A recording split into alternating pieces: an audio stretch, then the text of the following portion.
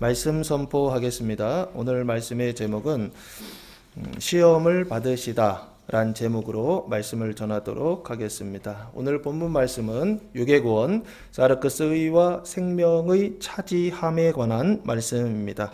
특별히 예수 시험을 받으시다란 말씀을 통해 육신의 시험을 이기고 땅을 기업으로 차지하는 방법, 구원을 받는 방법이 무엇인지를 가르쳐 주셨습니다. 1절 말씀부터 보시면 예수께서 성령의 충만함을 입어 요단강에서 돌아오사 광야에서 40일 동안 성령에게 이끌리시며라고 말씀하고 있습니다. 그래서 성령에 이끌려서 시험을 마귀에게 시험을 세 가지 시험을 받는데 그 세 가지 시험이 뭐 첫 번째, 두 번째, 세 번째 해서 이어지는 내용들입니다. 특별히 이 예수께서라고 했을 때 이 예수라고 하는 말은 어, 헬라어로는 예수스라고 해서 예수라고 되어 있고 히브리어로는 구약의 여후수아라고 하는 이름입니다. 그래서 어, 신명기 여호수아 할 때 그 여호수아 있죠. 그 이름하고 이 예수라고 하는 이름은 똑같은 이름인데 히브리어로 쓰면 여호수아고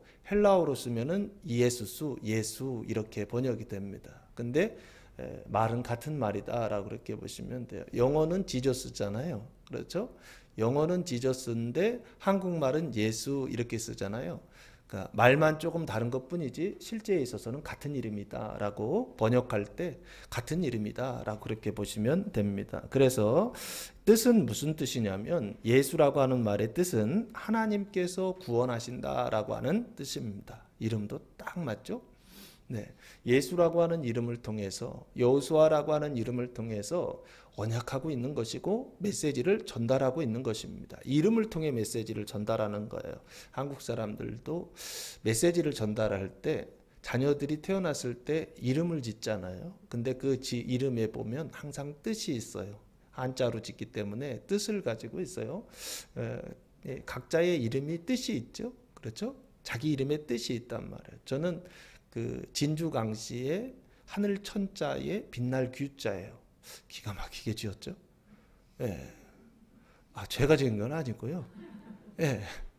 근데 제가 생각해 보면 생각할수록 하늘에 빛날 규자거든요. 하늘에 빛나는 앞에 진주강씨예요. 또 그 진주가 그 보석 진주는 아니고 요 진주를 얘기하는 거예요. 여기 진주 예전엔 진양이라고 아마 했던 것 같은데 진양강씨, 뭐 진주강씨 예, 진주강씨거든요. 근데 그걸 살짝 의역을 해서 빛나는 진주, 반짝반짝 진주, 뭐 이렇게 해석을 하면 하늘에 빛나는 진주다. 뭐 이렇게 저 혼자 그렇게 속으로 그러는데 지금 예수라고 하는 이름도 하나님께서 구원하신다. 이게 뭐 특별한 일인가요? 당연한 일이죠. 그런데 많은 사람들은 하나님께서 구원하시는 것을 모르고 자기 인생에 문제가 생기면 누가 구원하려고 발동하냐면 자기가 구원하려고 발동하지 않습니까? 문제가 생기면 하나님이 구원하신다라고 하는 신앙을 가지고 있는 사람들은 당연히 누구를 찾아가요? 하나님을 찾아가서 하나님을 의뢰하고 하나님께 모든 걸 맡기지 않습니까? 그런데 자기를 의지하는 사람, 하나님이 구원하시는 것이 아니라 자기가 구원한다라고 믿는 사람들은 어떻게 해요? 문제가 생기면 아이고 어쩌지? 내가 어떻게 하지? 내가 어떻게 하면 이 문제를 해결할 수 있지? 하면서 뭐가 돌아가기 시작하냐면 눈이 돌아가고 머리가 돌아가지 않습니까? 그래서 그 문제를 내가 해결하기 위해서 평생 어떻게 합니까? 예, 생각하고 또 생각하고 근데 답은 없으니까 괴로워하고 답이 없으니까 낙심하고 절망하고 예, 그러면서 인생을 살다 보니까 결론이 뭐예요? 인생이 다 그런 거야. 예, 시간은 지나간다. 근데 해결은 된다 안 된다. 해결되지 않은 상태로 시간이 지나가서 그냥 덮이는 이게 인생이야 라고 하는 답을 가지고 있는 사람들 이게 바로 사람들이 자기의 구원의 주체가 되었을 때 나타나는 결론 아닌가요? 근데 예수는 그 이름이 하나님이 구원이시다 라고 하는 메시지를 전하고 있더라는 거예요. 사람이 구원이 아니라 내가 구원이 아니라 자기가 구원이 아니라 하나님이 구원이시다라고 하는 거예요. 돈이 떨어졌어요. 근데 그 돈이 떨어진 것을 공급해 주시는 분, 그분이 바로 누구다? 내가 아니다라는 거예요. 어떤 사람이 아니다라는 거예요. 부모 형제가 아니다라는 거예요. 자녀들이 아니다라는 거예요. 나의 그 부족함을 채워주시는 분, 공급해 주시는 분, 우리에게 생명과 구원을 허락해 주시는 분, 그분이 바로 누구냐면 하나님이시다라고 하는 것을 말해주는 이름이 바로 예수라고 하는 이름이요. 여우수아라고 하는 이름이다라고 하는 것입니다. 특별히 이 여우수아는 언약인데 어떤 언약이냐라고 했을 때 가나안 땅에 들어가는 언약. 그 가나안 땅을 차지하는 언약이다라고 보시면 좋을 것 같아요. 그러니까 구원을 받는다. 여호와께서 구원하신다 할 때 구원의 내용이 출애굽하는 애굽에서 탈출하는 구원이 있다고 한다면 광야 40년을 예, 지나가는 구원이 통과하는 구원이 있다고 한다면 이 여호수아는 어떤 구원이냐면 어떤 구원의 역할을 했느냐면 가나안 땅에 들어가서 그 가나안 땅을 정복하고 그 가나안 땅을 분배하는 그 일을 했던 사람이 여호수아라고 하는 사람입니다. 그래서 이 땅을 정복하고 그 땅을 분배하는 그 구원의 언약이 여호수아의 그 이름에 예, 담겨 있다라고 말할 수 있지 않을까라는 생각을 해요.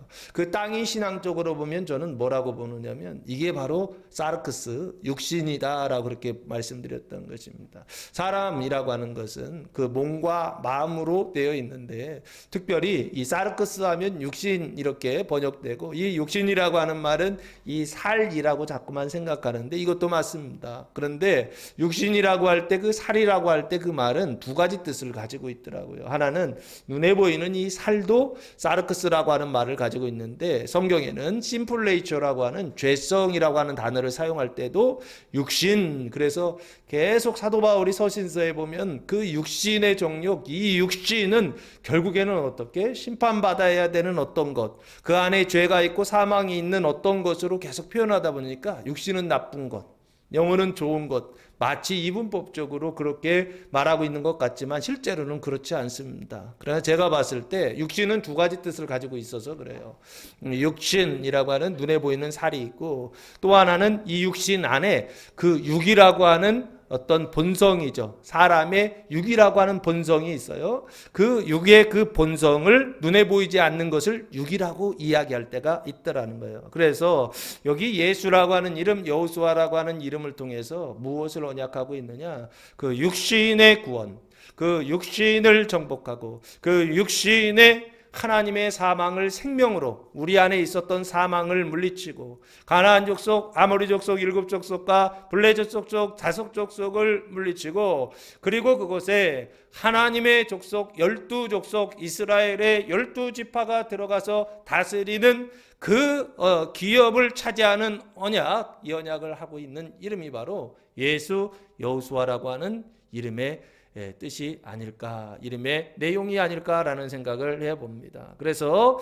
예수께서 그러면 아 이번 주에 특별히 누가복음이 있기 때문에 이렇게 설명합니다.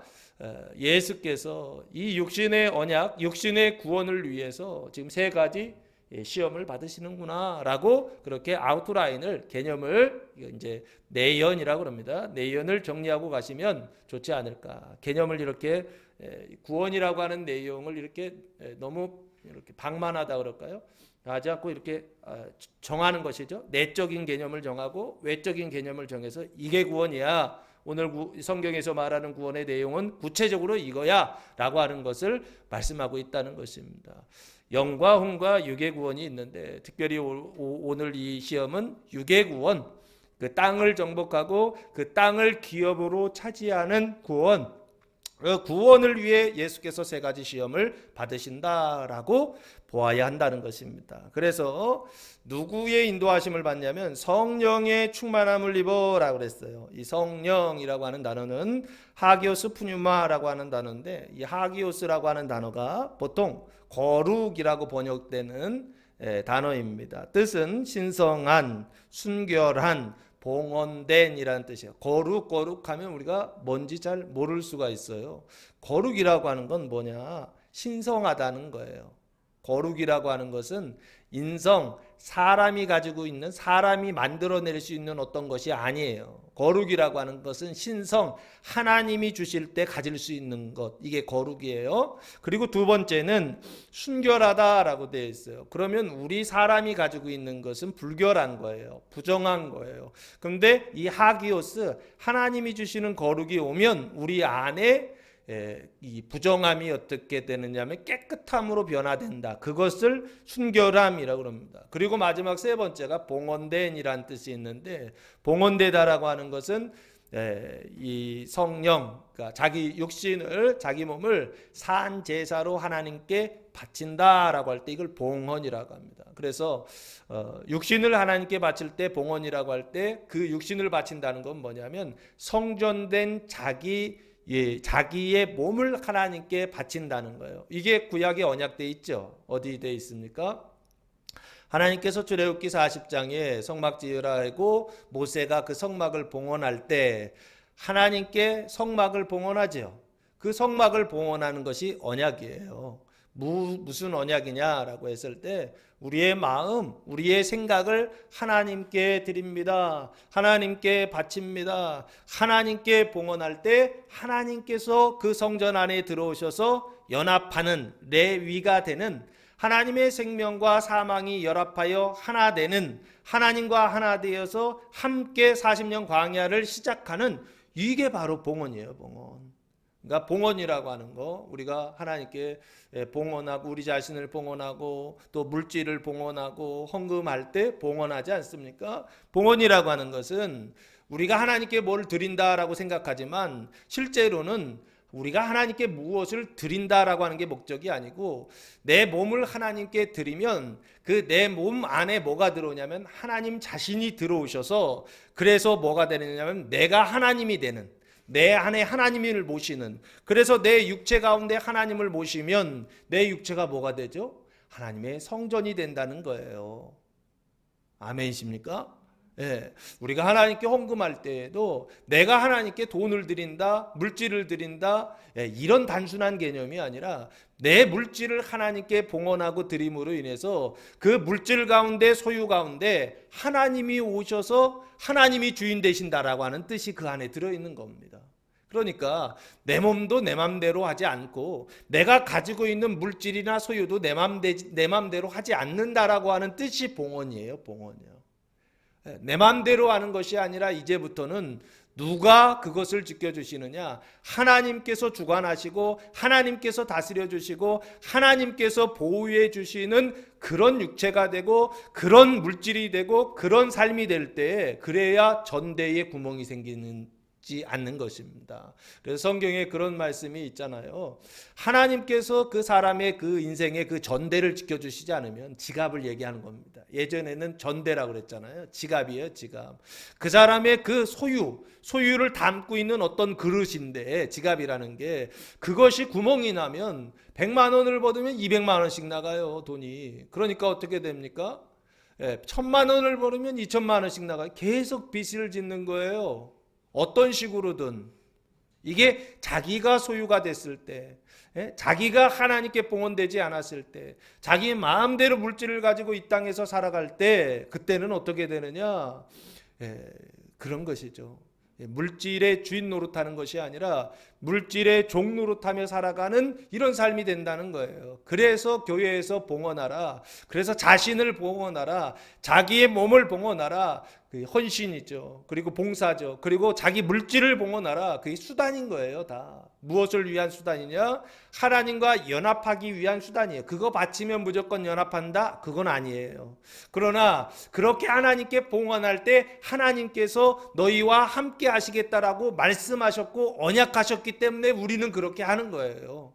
그렇게 하는 과정을 통해서 우리가 형식적으로도 할 수 있겠죠. 그러나 하나님께서 우리가 진심으로 그것을 하나님께 할 때 그때 하나님과 어떻게 되느냐면 하나가 되는 것이죠.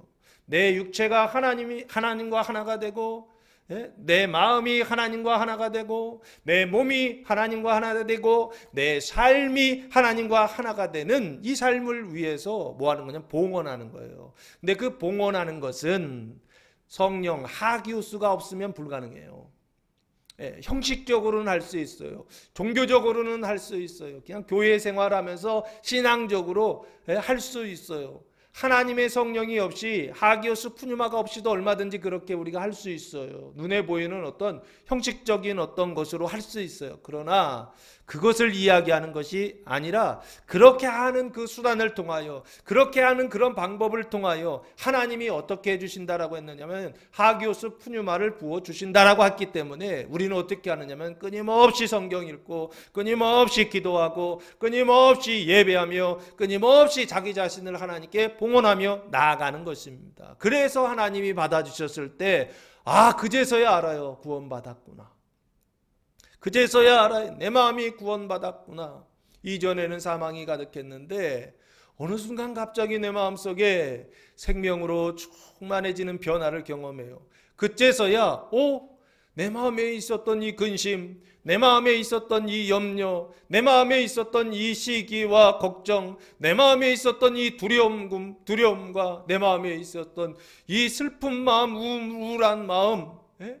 요즘은 슬픈 마음도 그냥 슬픈 마음이 아니라 조증이라고 그래서요. 좋았다 나빴다 좋았다 나빴다 기쁨과 슬픔이 교차하는 그런 고통이 있더라고요. 정신적인 고통. 한번 생각해 보세요. 아니 그냥 일괄 일률적인 게 좋잖아요. 일괄적인 게 슬프면 그냥 쭉 슬픈 게 좋지. 예? 기뻤다가 어제는 기뻤다가 오늘은 슬퍼. 어떻게 어느 장단에 맞추라는 거예요, 이거. 그잖아요. 저 사람은 원래 좀 성격이 차분하고 슬픈가 보다. 이렇게 생각해도 되는데, 예? 아, 오전에는 막 방방 뛰다가 오후 되면은 완전히 그냥 깔아져 가지고 사로잡혀서 슬퍼하는 어떤 이런 상태. 그러니까 사회가 더 좀 더 이 마음의 병이 이 정신병이 더 세지는 것 같은 것들을 느껴요. 네, 여기 성령의 충만함 할 때 성령이라고 하는 것은 봉헌된이라고 하는 뜻이에요. 그러니까 하나님의 영이 임해야만 봉헌할 수 있어요. 진짜 봉헌이 이루어지고 그 진짜 봉헌이 이루어졌을 때 성령을 따라서 봉헌했을 때 그때 출애굽기 40장 하나님의 영광으로 성전에 충만하게 되는 역사가 또한 여 어, 열왕기상 열왕기상 6장 7장에 여호수아 솔로몬이 하나님의 성전을 짓고 봉헌했을 때 영광으로 충만해서 제사장들이 성전에 들어가서 서서 하나님께 예, 제사를 드릴 수 없을 정도의 그런 영광이 충만한 그런 은혜를 베풀어 주신다. 성령이 오셔야 돼요, 성령이. 그 성령의 충만함을 입었다라고 말씀하고 있어요. 예수가 성령의 충만함을 입었다는 거예요. 그러면 예수의 그 상태는 어떤 상태냐? 그 영과 혼과 육과 몸과 삶, 이 바깥에까지 하나님의 성령으로 어떻게 되느냐면 충만해서 흘러가는 상태. 성령이 내 안에 그냥 이렇게 담겨 있는 상태가 아니라 담겨서 그게 철철철철 부어서 밖으로 흘러가는 상태. 이 상태를 충만함이라고 그렇게 표현하고 있는 게 아닌가.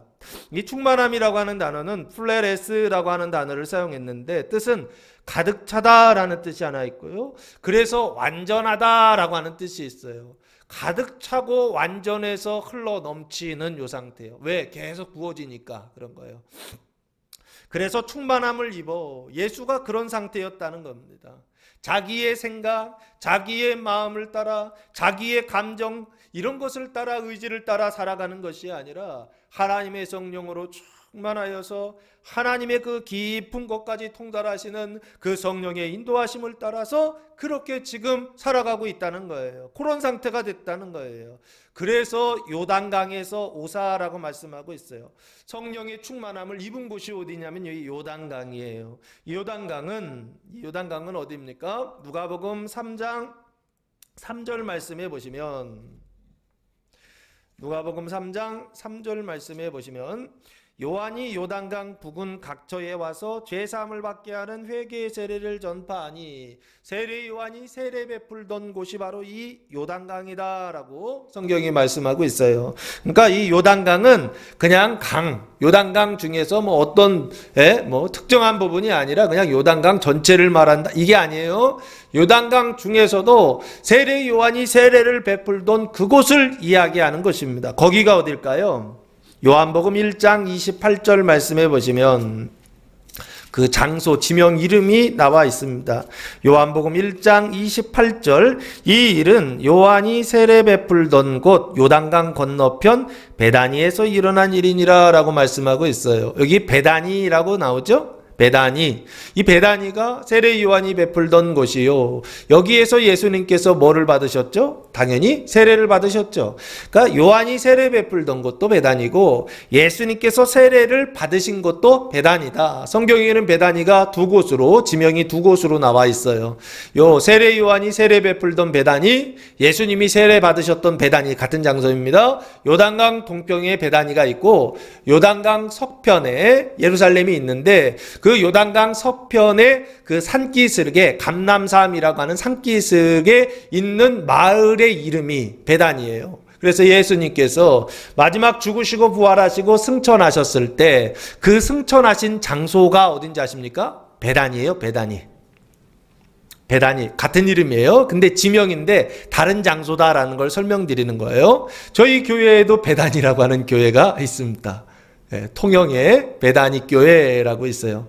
어, 이 이름 예수 승천의 의미나 세례의 의미를 가지고 이름을 졌는지는 잘 모르겠는데 배단이라고 하는 그 이름을 가지고 목회 통영에서 목회하시는 목사님이 계세요. 장소가 통영에도 배단이 교회가 있고 예, 예루살렘에도 배단이라고 하는 마을이 있고 요단강 동편에도 그 요단강에도 배단이라고 하는 지역이 지명이 있다라고 하는 것입니다. 그래서 이 요단강에서 요한은 세례를 베푸시고 예수님은 세례를 받으세요. 이게 누가복음 3장 21절 말씀해 보시, 보시면 백성이 다 세례를 받을세 예수도 세례를 받으시고 기도하실 때에 하늘문이 열리고 그리고 성령이 비둘기 같이 내리고 아버지의 음성이 들리는 이런 역사가 있었던 장소 여기가 바로 예수님 세례 받으셨던 배단이다라고 보시면 됩니다. 거기서 돌아오셨다는 거예요. 성령이 충만해요.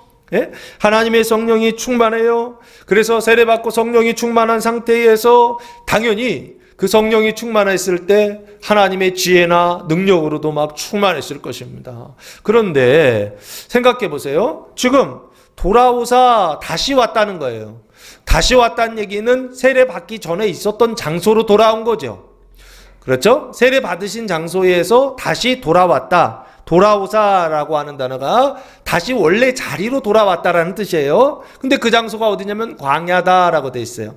광야에서 40일 동안 성령에게 이끌리시며 광야로 돌아오셨다는 거예요. 광야에서 세례 받으러 어디로 가신 거예요? 배단위로 가셨다가 요단강으로 가셨다가 요단강에서 세례 받고 나서 성령이 충만해서 어디로 가셨다? 광야로 가셨다라고 말씀하고 있어요. 광야라고 하는 곳은 어떤 곳입니까? 에레모스라고 하는 보통 우리가 아는 광야는 사막 있죠, 사막. 사막 하면은 쉽게 생각할 수 있는데 사막은 모래가 많아서 사막이고 이 광야는 사막하고 같은 조건인데 여기는 뭐가 많냐면 모래보다는 좀 돌이 많은 지역이라고 보시면 더 좋을 것 같아요. 돌이나 예, 흙 있죠, 흙.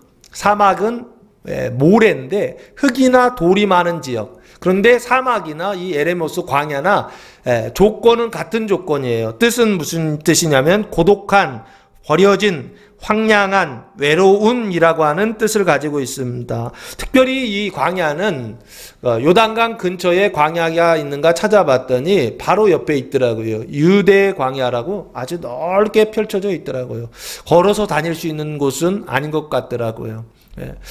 어, 비행기로 뭐 드론으로 요즘은 사람들이 가서 그 광야를 이렇게 촬영한 것이 유튜브에 올라온 것을 봤는데 예, 산이나 골짜기가 아주 깊이 이 아주 넓은 지역으로 아주 광, 예, 아주 광활하게 펼쳐져 있는 어떤 그런 지역이 바로 유대 광야라고 하는 지역이 바로 옆에 있더라고요. 그 유대 광야가 아닐까? 이건 뭐 제 생각이 아니고 대부분 그렇게 학자들이 생각합니다. 유대 광야에서 예수님 시험 받으셨다라고 그렇게 말을 해요. 그래서 이 유대 광야라고 생각한다고 한다면 광야라고 하는 말의 그 한글 사전 뜻이 뭐냐면 텅 비고 아득히 넓은 들이라는 뜻이에요. 텅 볐다라고 하는 것은 식물이 자랄 수가 없다는 얘기겠죠. 나무가 자랄 수가 없는 거예요. 그러니까 사람이나 동식물 뭐 다 이렇게 살기가 힘든 것이죠. 텅 비고 아득히 넓은 아주 넓은 거예요. 넓은 들을 광야라고 그렇게 표현하고 있어요. 이것 결국에 이게 그럼 이제 이런 거죠. 이 광야와 에, 뭐 광야, 광야와 그리고 어, 좋은 어떤 에, 어떤 어떤 지역, 그러니까 광야와 광야 안, 인 지역을 구분하는 기준이 뭐냐라고 했을 때 기준이 이게 딱 이겁니다. 뭐냐면 에, 하늘에서 내려오는 비가 있죠. 비, 그 비와 이걸 뭐라 그러냐면 강수라고 그럽니다. 강수량과 햇빛에 햇빛에 의해서 올라가는 올라가는 증발 있죠? 증발량, 강수량과 증발량을 두 개를 놓고 보았을 때 강수량보다 비가 없다는 얘기가 아니에요. 강수량보다 증발량이 더 많은 지역이 광야예요. 그렇게 보시면 됩니다. 이해가 되시죠? 물이 100리터가 비가 왔는데 태양 때문에 흡수되는 하늘로 증발되는 물의 양이 110이면 그러면 어떻게 되는 거예요? 물이 잠깐 있기는 있지만 더 많이 빠져나가는 거죠. 그래서 결국에는 어떻게 되느냐면 땅에 물이 말라버리는 어떤 이게 계속 10년이 되고 100년이 되고 1000년이 되면 결국에는 사막화 된다 그러잖아요. 그게 광야화 되는 것이죠. 거기 우리나라도 봄만 되면 황사 때문에 고생하는데 그게 중국에서 몽골 이쪽 지역에서 예, 넘어온다. 황토 바람이잖아요. 넘어온다 해서 그 몽골 지역에 몽골 지역 몽골 맞나요? 어, 몽골? 중국 위에 몽골 맞나요? 맞나요? 예, 그 지역에 우리나라가 가서 우리나라 산림청이 가서 나무 심어준 게 있더라고요. 제가 그거 깜짝 놀랐어요. 나무를 얼마나 잘 심어놨는지 사막이 수비됐더라고요. 예, 우리나라 산림청이 대단하더라고요. 그러니까 대단할 수밖에 없는 게 전쟁 후에 예, 전쟁 후에 그 산마다 다 그 벌거숭이 산을 나무 심어가지고 지금 우리나라 이렇게 됐잖아요. 그러니까 이, 이거를 지금 한 50년 이상 해서 그런지 나무 심는 거는 선수더라고요. 선수들이더라고요. 사막 가서 나무 심어요. 관계수로 해가지고 물 대가지고 나무를 심는데 예, 사막을 그 숲으로 만드는 어떤 이런 일들을 하더라고요. 요 광야라고 하는 것은 결국에 강수량보다 증발량이 더 많은 지역이다라고 그렇게 보시면 돼요. 그러면 강수량이 없다가 아니죠. 강수량이 있어요. 강수량이 있는데 증발량이 더 많아서 계속 조금씩 조금씩 사막화 되어지는 그 광야화 되어지는 그 지역을 광야라고 그렇게 부르는 겁니다. 그러면 이것은 항상 어떤 곳이냐면 물이 늘 부족하고 그래서 땅이 어떻게 되느냐면 메마르게 되는 곳 여기가 광야라고 보시면 돼요. 그렇죠? 신앙적으로도 똑같죠. 예, 생명과 사망이 예, 생명이 없다가 아니에요. 예, 내 안, 부어지는 생명이 이 안에 사망이 있는데 그 사망 속에 생명이 부어지는 것과 그 사망이 내 안에 부어지는 이 두 가지를 놓고 보았을 때 생명과 사망보다 사망이 더 많이 있는 곳, 사망이 더 많이 다스리는 곳이죠. 신앙적으로 봤을 때 생명이 부어지는 것보다 사망이 더 많은 곳, 예? 여기가 바로 어디냐면 광야라고 그렇게 말할 수 있지 않은가라는 생각을 해요. 우리 신앙생활 할 때 생명이 부어지잖아요. 생명이 부어지기 이전에는 구원받기 이전이잖아요. 그런데 생명이 부어져요. 생명이 부어졌는데 그 생명이 부어지는 것보다 이 사망이 더 큰 거예요.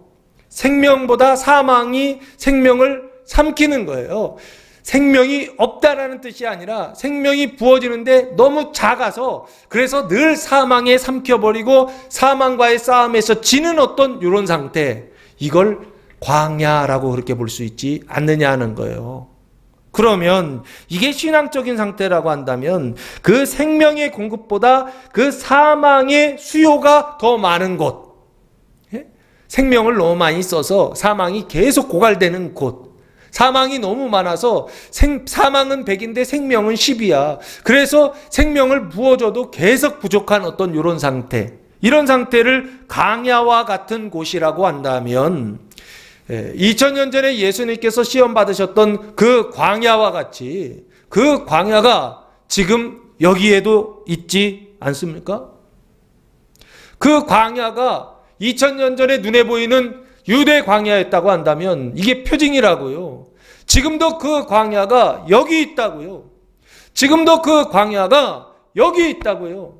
지금도 그 광야가 우리의 마음 속에 있다고요. 지금도 그 광야가 우리 가정 속에 있다고요. 지금도 우리의 광야가 교회 속에 있고 지금도 그 광야가 우리나라와 이 민족 속에 있다라고 하는 것을 오늘 이 광야라고 하는 것을 통해서 말씀하고 있는 게 아닌가라는 생각을 해봅니다. 사랑하는 성도 여러분, 여러분이 광야 아닌가요?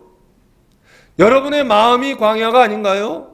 특별히 여러분의 이 육신이 광야가 아닌가요? 예? 공급되는 생명보다 수요되는 사망이 더 많아서 그래서 늘 부족한 하나님의 생명이 늘 부족하여서 그래서 생명으로 왕노릇하는 것이 아니라 눈으로 볼 때 사망이 왕노릇하는 것과 같은 내 육신이요 우리 가정이요 이 교회요 우리가 광야 아니냐는 거예요. 내가 광야 아니냐는 거예요. 이 교회가 광야 아니냐는 거예요. 그런데 예수님이 어디로 돌아가시냐면 거기로 돌아가셨다는 거예요. 그 광야로 돌아가셨다는 거예요. 그 광야로 예수님께서 일부러 찾아가셨다는 거예요. 그 광야가 나라고 한다면 예수님이 내 육신 속에 찾아가신다는 거예요. 2000년 전에 찾아가셨던 것처럼 지금 여러분의 그 광야 속에, 여러분의 그 육신 속에 주님 찾아가셔서 세 가지 시험을 받으시고 물리치셔서 결국에는 뭐로 바꾸시는 여러분의 육신을, 여러분의 가정을, 여러분의 교회를, 이 나라와 이 민족을 하나님의 생명으로 바꾸는 일, 그 일을 시작하시는 그 첫 주가 바로 사순절 첫 번째 주일이요. 그 사순절 첫 번째 주일날 예수님이 뭔가 좀 좋은 일을 하셔야 되잖아요. 근데 우리 그렇잖아요. 하나님의 시험을 받으시기 바랍니다. 좋으세요? 안 좋죠? 시험이라고 하는 것 자체가 부정적인 의미를 가지고 있잖아요. 예, 어른들은 이제 더 이상 뭐 학교에서 시험 볼 일 없으니까 애들은 시험 볼 때마다 어때요?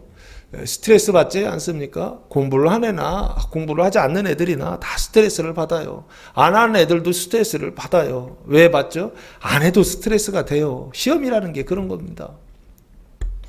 그래서 지금 예수님께서 그 광야로 돌아가셔서 시험 받으셨다는 거예요. 마찬가지로 우리의 육신으로 돌아오셔서 예수님 어떻게 하시느냐?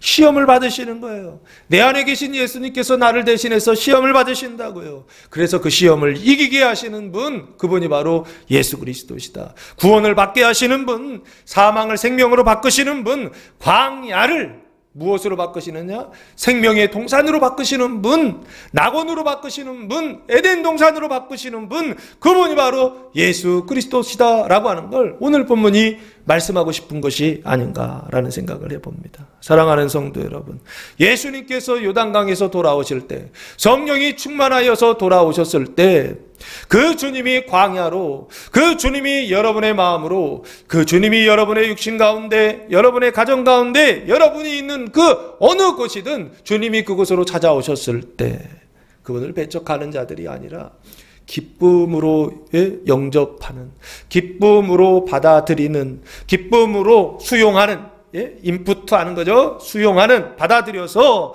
그래서 여러분 안에 있는 그 모든 사망의 문제들을 해결하는, 그 갈급함의 문제, 그 목마름의 문제, 물이 없어서 늘 말라버리는 그 문제를, 근본적인 그 광야의 문제를 해결받을 수 있는 사순절 이번 한 주간 되시기를 예수님의 이름으로 축복합니다.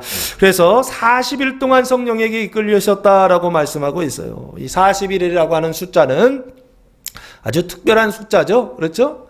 그래서 사순절 할 때, 우리가 사순절 할 때 그 사순이라는 게 40이란 뜻이에요. 40이요.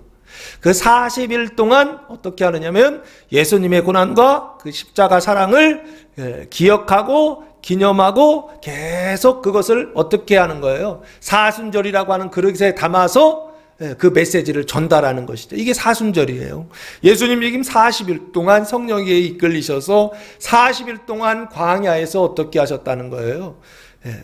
예, 금식하신 것이죠. 먹지 않으셨어요. 줄이셨다라고 그렇게 말씀하고 있어요.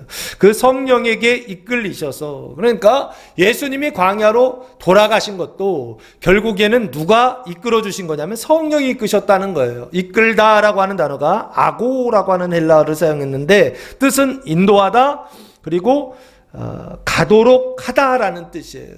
그러면 성령이 어떤 의도적으로 목적을 가지고 그렇게 했다라고 하는 것이죠. 우연이다, 우연 아니다. 우연 아니다라는 거예요. 그냥 예, 우연으로 된 거 아니고 그냥 가다 보니까 거기 도착한 거 아니다 이런 뜻이에요. 아주 분명하게 성령이 충만한 그 물이 충만한 그곳에서 어디로 지금 가고 계시냐면 물이 전혀 없는 성령이 없고 오히려 악령으로 가득한 그 광야로 예수님께서 의도를 가지고 예, 목적을 가지고 가셨는데 예수님 자신의 목적이 아니라 성령의 인도하심을 따라 가셨다.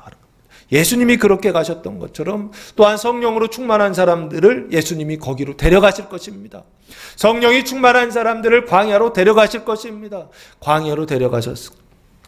그 광야를 통하여 세 가지 시험을, 세 가지 고난을 받게 하실 것입니다. 그때 슬프다고 생각하지 마시고, 그때 그 고난을 통하여 괴로움만 하지 마시고, 오히려 그 괴로움을 통하여서 어떻게 해요? 몸을 구원하고, 형제를 구원하고, 이웃을 구원하는 때다, 예, 기회다, 카이로스다 라고 하는 예, 찬스로 받으셔서 그래서 그 일을 통하여서 생명의 멸류관, 의의 멸류관, 영광의 멸류관을 받아 쓰는 귀한 시간 되시기를 바라겠습니다. 2절 말씀해 보시면 마귀에게 시험을 받으시더라 라고 말씀하고 있어요.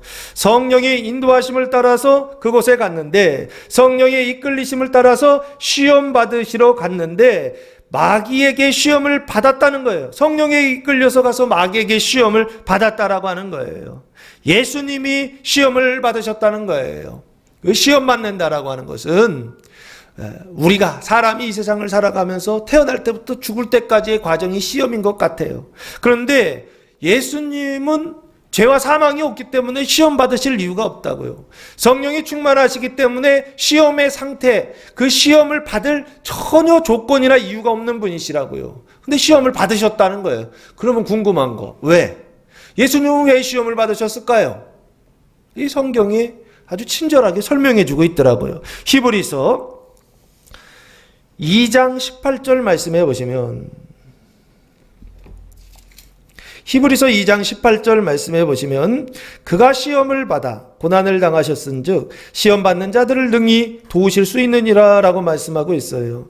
시험 받는 자들을 도우시기 위하여 네? 도움이죠. 시험 받는 자들을 도우시기 위하여 예수님이 뭘 받았다? 시험 받았다라고 지금 증언하고 있더라고요. 히브리서 기자가 예수님 시험 받으신 이유가 이거다라고 지금 설명하고 있어요. 시험 받는 자들 도우시기 위하여.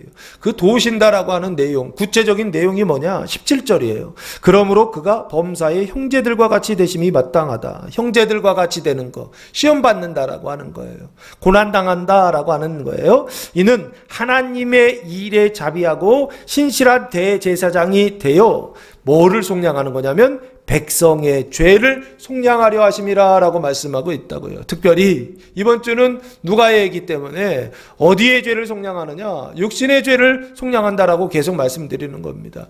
우리 육신 안에 죄와 사망이 있는데 그 죄와 사망을 속량하기 위하여 예수님께서 그 죄와 사망을 속량하기 위하여 시험 당하고 있는 사람들, 그 죄와 사망에 시험 당하고 있는 사람들을 그 죄와 사망에서 속량하기 위하여 도와주시기 위하여 구원하시기 위하여 지금 예수님이 무엇을요? 자발적으로 시험 받으시더라라고 하는 것을 성경이 말씀하고 있더라는 거예요.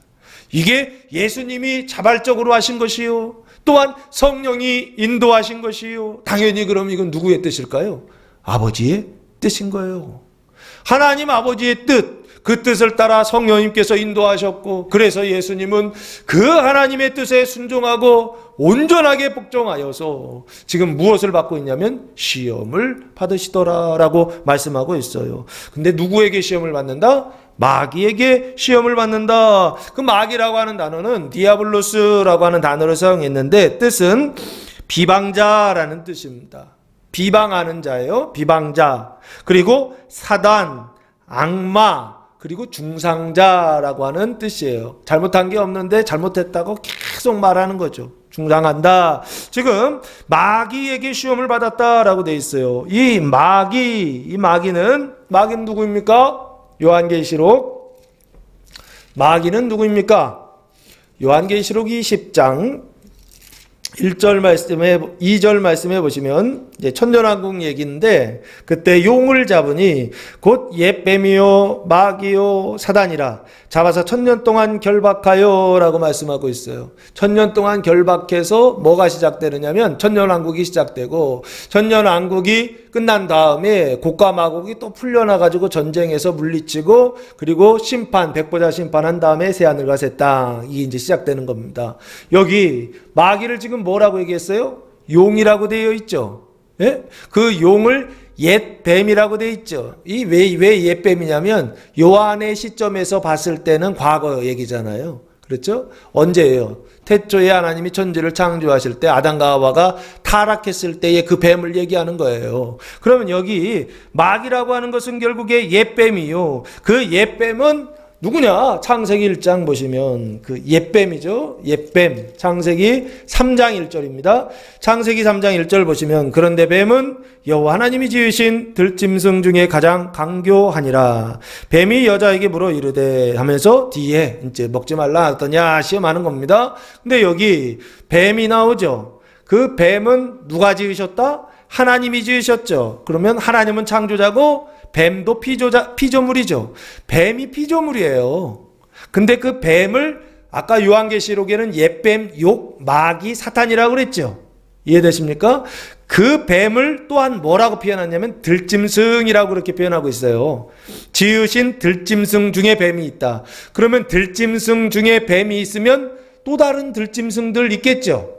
이해되십니까? 그 들짐승이 어디 나옵니까? 2장 19절 말씀해 보시면 여호와 하나님이 흙으로 각종 들짐승과 들짐승 나오죠? 그리고 공중의 각종 새를 지으시고 아담이 무엇이라 부르나 보시려고 그것들을 그에게로 이끌어 가시니 아담이 각 생물을 부르는 것이고 그 이름이 되었다 하면서 지금 에덴 동산에 하나님께서 들짐승과 새들을 만드셨죠. 그 에덴 동산에 있었던 들짐승 중에 뱀이 있는 거죠. 그 뱀을 용이라고 하고 사단이라고 하고 마귀라고 하고 있는 거죠. 그러면 이 뱀은 눈에 보이는 뱀입니까? 눈에 보이지 않는 뱀입니까? 사단과 마귀는 신적인 존재입니까? 아니면 육적인 존재입니까? 신적인 존재이고 영적인 존재이죠. 그러면 당연히 뱀도 신적인 존재이고 영적인 그런 영물이죠, 영물. 그래 에덴 농산이라고 하는 것이나 그 에덴 농산에 있는 들짐승들이나 새들은 결국에 우리가 지금 눈에 보이는 이 세상에 있는 물리적인 들짐승들이나 새들을 이야기하는 것이 아니라 눈에 보이지 않는 어떤 존재들을 말하고 있다라고 유추하고 상상할 수 있겠죠. 이해되십니까? 그래서 창세기가 신화로 써 있는 거예요. 내용이 신화일 수밖에 없는 거예요. 왜 신화냐 했을 때 물리적인 얘기하는 게 아니에요. 신들의 이야기들을 지금 하고 있다고요. 그 신들의 이야기를 뱀이라고 얘기하고 들짐승들이라고 얘기하고 사, 예, 새라고 하늘을 나는 새라고 이야기하니까 그게 예, 인문학이 될 수 없고 신화가 될 수밖에 없었던 거예요. 우리나라 예전에 할머니들이 애들 밤만 되면은 전설 따라 삼, 뭐 산말리 그러면서 옛날 얘기해 주지 않았습니까? 그 옛날에 나오는 그 이야기들을 보면 토끼가 말을 하고 거북이가 말을 하고 그러지 않나요? 나무들도 말을 하지 않습니까? 왜요? 신화화돼 있기 때문에 그래요. 그 신화화된 그 세상을 말하고 있기 때문에 그래요. 어디서요? 그 신화화를 잃어버린 그 세상 속에서 신적인 세상을 말하기 때문에 그것을 표현하니까 신화적인 방법으로 표현할 수밖에 없는 거예요. 그래서 제가 가끔 그런 얘기 하지 않습니까? 성경이 말하는 신화화는 나쁜 것이 아니에요. 그런데 세상에서 말하는 신화화는 대부분 환타지로 나타나요. 그래서 그 환타지 소설이나 환타지 영화나 우리 아이들 해리포터 얼마나 좋아하는지 몰라요. 그리고 요즘은 그 해리포터나 이거는 옛날 뭐 마법이나 이런 뜻이지만 요즘은 이게 다 과학화되고 기계화되면서 뭐로 나오냐면 마블 영화로 나오지 않습니까? 그 마블 영화의 그 기술적인 어떤 것을 동원해서 사람의 능력을 초월하는 신의 능력에 도달하기 위한 어떤 모습들 그 안에 또 마법사들도 나오긴 하더라고요. 예? 그러면 그런 것들을 많이 보면 성경을 볼때 이런 어떤 영적인 세상을 우리가 볼 때 뭐로 보이냐면 자꾸 그렇게 상상이 되고 그렇게 이해가 되고 그렇게 받아들이는 거예요. 왜? 우리 안에 그런 토대가 마련돼 있기 때문에 그래요. 그런 토대가 마련돼 있으면 기도하면 자꾸 환타지로 보여요. 막이라니까요. 기도하면 환타지로 보이는 게 아니라 기도하면 말씀으로 보여야 된다고요. 현실 속에 말씀으로 오버랩돼서 보여야 된다고요. 하나님의 말씀과 눈에 보이지 않는 세상과 눈에 보이는 세상이 말씀으로 하나가 되어야 된다고요. 근데 그게 안 되고 환타지로 된다고요. 그러면 그건 막이다 이렇게 보시면 돼요. 그래서 환타지물 안볼 수가 없어요. 너무 막 많아서 그냥 지나만 다녀도 다 환타지물이에요. 드라마에서 왜 귀신이 나오고 도깨비가 나오냐고요. 근데 그 도깨비들이 너무 잘생겼어. 내가 봐도 잘생겼어. 키도 크고. 그리고 능력은 얼마나 시간과 공간 시간의 제약은 있더라. 공간의 제약이 없으니까 우리나라에서 무슨 어느 나라로 문 열고 가면 나가고 아니 미쳤어요. 난리가 났어요. 그런 시인이면 정말 한번 만나보고 싶다. OX. 만나보고 싶다고 얘기하더라고요. 젊은 여자 애들이 그런 얘기들을 하더라고요. 이해는 갑니다. 이해는 가요. 그러니까 그렇게 드라마를 만들었겠죠. 자, 그래서 여기 다시 이 막이라고 하는 것은 결국에 에덴 동산에 있었던 그 들짐승들이 그래서 성장해 가지고 나중에는 뱀이 용이 되고 그 용을 막이 마귀라고 하는 것은 마귀 사탄이라고 하는 것은 원래 존재 이름이 아닙니다. 직위 이름이에요. 직위 이름이요. 직위 이름이라고 하는 건 뭐냐면 남자 여자 이런 거하고 비슷한 거죠. 예? 나는 나는 나는 강천규이지만 그러면서 또한 나는 남자잖아요. 그리고 나는 예, 뭐 남편도 되고 예, 또 예, 아빠, 부모도 되고 그러잖아요. 이게 그 사람의 존재의 이름을 얘기하는 게 아니고 직위 이름이잖아요. 강청규는 내 존재 이름이야. 그렇죠?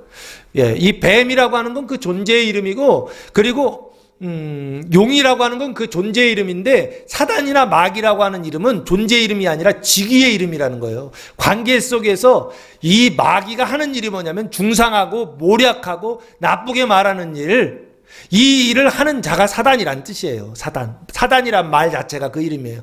천사도 마찬가지죠.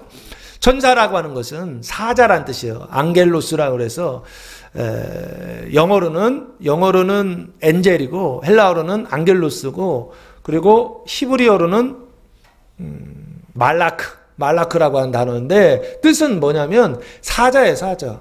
하나님께서 보내신 자 하나님께서 그 안에 말씀을 담아서 그 보내가지고 다른 나라나 다른 사람들에게 그 뜻을 전달할 때 보내는 사람을 사자라고 하잖아요. 사자라는 뜻이에요, 사자. 그러니까 그 사자는 두 가지 의미를 갖겠죠. 첫 번째는 성경에 눈에 보이지 않는 존재들, 그 새들이나 그 들짐승들이나 천사들 있죠. 사자가 될 수 있겠죠. 그래서 천사들이 사자가 되는 경우들이 있어요. 예, 우리가 일반적으로 아는 천사는 눈에 보이지 않는 존재예요. 그렇죠? 그런데 성경에는 사자라고 하는 개념을 눈에 보이는 사람들을 사자라고 사용할 때가 또 있어요.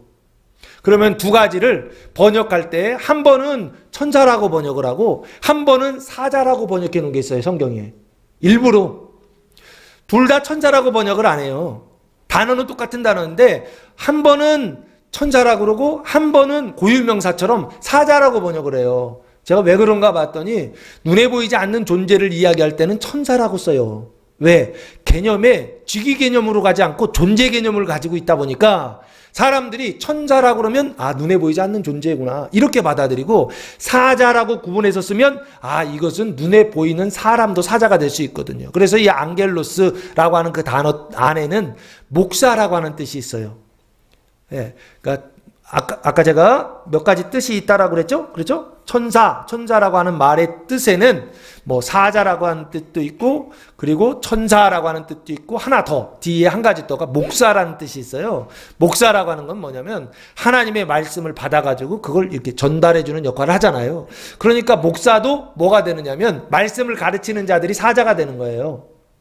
아, 그럴 수 있겠죠? 이해되십니까? 어, 왜 그러냐? 그 고유한 그 사람의 이름이 아니라 고유명사가 아니라 일반적으로 직위를 이야기하는 일반 명사이기 때문에 그렇다라는 거예요. 자, 어려우시죠? 그냥 받으시면 돼요. 그냥 들으시면 돼요. 예, 계속 듣다 보면 내, 나중에 아 이게 그 얘기구나 그냥 이렇게 알아지고 하나님께서 깨닫게 하시고 아, 알려주실 그것만 받으시면 돼요. 그래서 여기 마귀는 결국에 어떤 존재냐라고 했을 때 뱀을 얘기하는 것이고 그 뱀 중에서도 결국에는 나중에는 용이 돼요 성장해서 바다의 용이 되잖아요. 그 용이 되는데 그 마귀에게 에덴 동산에 있었던 그 뱀에게 시험을 받으시더라라고 그렇게 말씀하고 있어요. 아, 그 에덴 동산에서 뱀이 누구를 시험했죠? 아담과 하와. 처음에 하와부터 시험을 했죠. 엄밀히 보면 아담은 시험을 안 했죠. 근데 간접적으로는 한 거예요. 왜? 시험 받은 사람이 와가지고서 또 따먹으라고 했으니까. 그러니까 어, 이미 하와 아내는 뱀의 말을 듣는 그 순간 그래서 그것을 따먹는 먼저 그것을 따먹는 그 순간 뱀이 그 안에 들어왔다고 봐도 되지 않은가 싶어요. 뱀의 그 주권 아래 그 통치 아래 들어왔기 때문에 하와는 더 이상 하와가 아닌 것이죠. 네, 이전에 그 하와가 아닌 거예요. 선악과를 따먹은 하와인 거죠. 그 안에 뱀이 들어와 있는 뱀의 그 나라 속에서 나라가 바뀐 거죠. 뱀의 그 주권 속에 있는 사람이 하와예요. 그 사람이 와가지고 너도 따먹어라. 하 아담한테 따먹으라 했으니까 결국에는 뱀이 직접 와서 따먹으라 한 건 아니지만 그러나 여자가 뱀의 사람이었던 뱀의 자식이었던 뱀의 딸이었던 하와가 와서 따먹으려 했기 때문에 결국에는 간접적으로는 뱀이 따먹으러 간 거하고 똑같지 않은가? 그러면 아담과 하와는 다 뱀의 시험을 받은 거예요. 마찬가지로 지금 예수님도 그 시험을 받고 있다는 거예요. 근데 첫 아담과 하와는 그 뱀의 시험을 통과했어요, 못했어요? 못해가지고 죄와 사망이 들어오고 그래서 그 원죄 가운데 우리가 지금도 죄인으로서 종로로 타면서 살고 있는 거 아닌가요? 그런데 두 번째 아담이신 예수님께서 이 땅에 오셔서 그 사역을 시작하실 때 뭐로 시작하냐면 뱀의 시험으로부터 시작하더라는 거예요. 그래서 그 뱀의 시험을 통과하지 못하면 3장, 창세기 3장 이후, 말라기까지의 이용이, 내용이 쫙 펼쳐지겠죠, 이어져서. 근데 그 시험을 통과한다고 한다면, 그때부터는 어떻게 되는 건가요? 창세기 3장으로 가는 게 아니라 창세기 2장으로 거꾸로 올라가겠죠? 이해되십니까? 예수의 시험은 방향을 바꾸는 거예요. 예수의 시험은 나라를 바꾸는 거예요. 예수의 시험은 타락하게 하는 것이 예수의 시험은 오히려 구원받게 하는 그 일을 잃어버렸던 지금 마귀의 시험이 아담의 시험은 그 낙원을 잃어버리는 시험이었다고 한다면 둘째 아담 예수의 시험은 나쁜 게 아니라고요. 낙원을 회복하는 시험이요. 낙원을 되찾는 시험이요. 그 낙원을 차지하는 시험이다라는 겁니다. 이번 주간 이 예수의 시험이 여러분의 삶 속에 있을 때, 여러분의 마음 속에, 여러분의 가정 속에, 여러분의 이 교회와 이 나라 민족 가운데 이 예수의 시험이 있을 때, 이 시험은 타락하는 시험 아니요. 이 시험은 우리로 하여금 지옥에 가는 영벌에 가게 하는 시험 아니요. 이 시험은 생명으로 가는 시험이요. 이 시험은 낙원을 회복하는 시험이요. 이 시험은 잃어버렸던 하나님의 자녀로서의 권리를 회복하는 그 땅을 회복하는 시험이다라고 하는 이 분명한 사실을 아시고 기뻐하시기 바랍니다. 시험 받으실 때 울면서 감사하시기 바랍니다. 나, 나는 이것 때문에 너무 괴롭고, 나는 이것 때문에 너무 힘들고, 나는 이거 견딜 수 없지만, 하나님 말씀에 의지하여 하나님 그냥 버티겠습니다. 하나님 인내하겠습니다. 하나님 참겠습니다. 1년이 되고, 2년이 되고, 3년이 되고, 10년이 돼도 참겠습니다. 근데 왜 이렇게 말씀드렸냐면, 말씀을 모르면 10년 동안 계속 뺑뺑이 돌아요. 10년을 했는데도 모르면 20년 들고 20년 했는데도 통과 못하면 이 시험을 통과 못하면 계속 돈다는 거예요. 왜? 자기의 경험을 의지하기 때문에 그렇습니다. 자기의 생각을 의지하기 때문에 시험은 나쁜 거다 여기에 못이 박혀 있어요. 문제가 생기면 나쁘다. 여기에 모이기 받쳐 있어요. 뭔가 손해를 보면 여기 나쁘다. 뭔가 사고 치면 여기 나쁘다. 머리가 작동한다고요. 작동할 때 그 머리를 말씀으로 찍으시기 바랍니다. 찍어내세요. 그리고 믿음으로 예수의 시험은 좋은 것이다. 예수의 시험은 생명의 시험이다. 예수의 시험은 낙원을 회복한다. 예수의 시험은 구원의 시험이다. 이 예수의 시험은 기쁨이다. 감사다. 입을 꽉 물고 하나님 감사합니다. 아, 감사가 안 되잖아요. 그러니까 입 꽉 물고 감사하라는 거예요. 근데 이 감사 몇 번씩 하다 보면 이 시험을 통과하다 보면 그때선 진짜 감사가 돼요. 진짜 기쁨이 됩니다. 하나님 이게 진짜였군요. 이 기쁨이 이 낙원이 진짜였군요.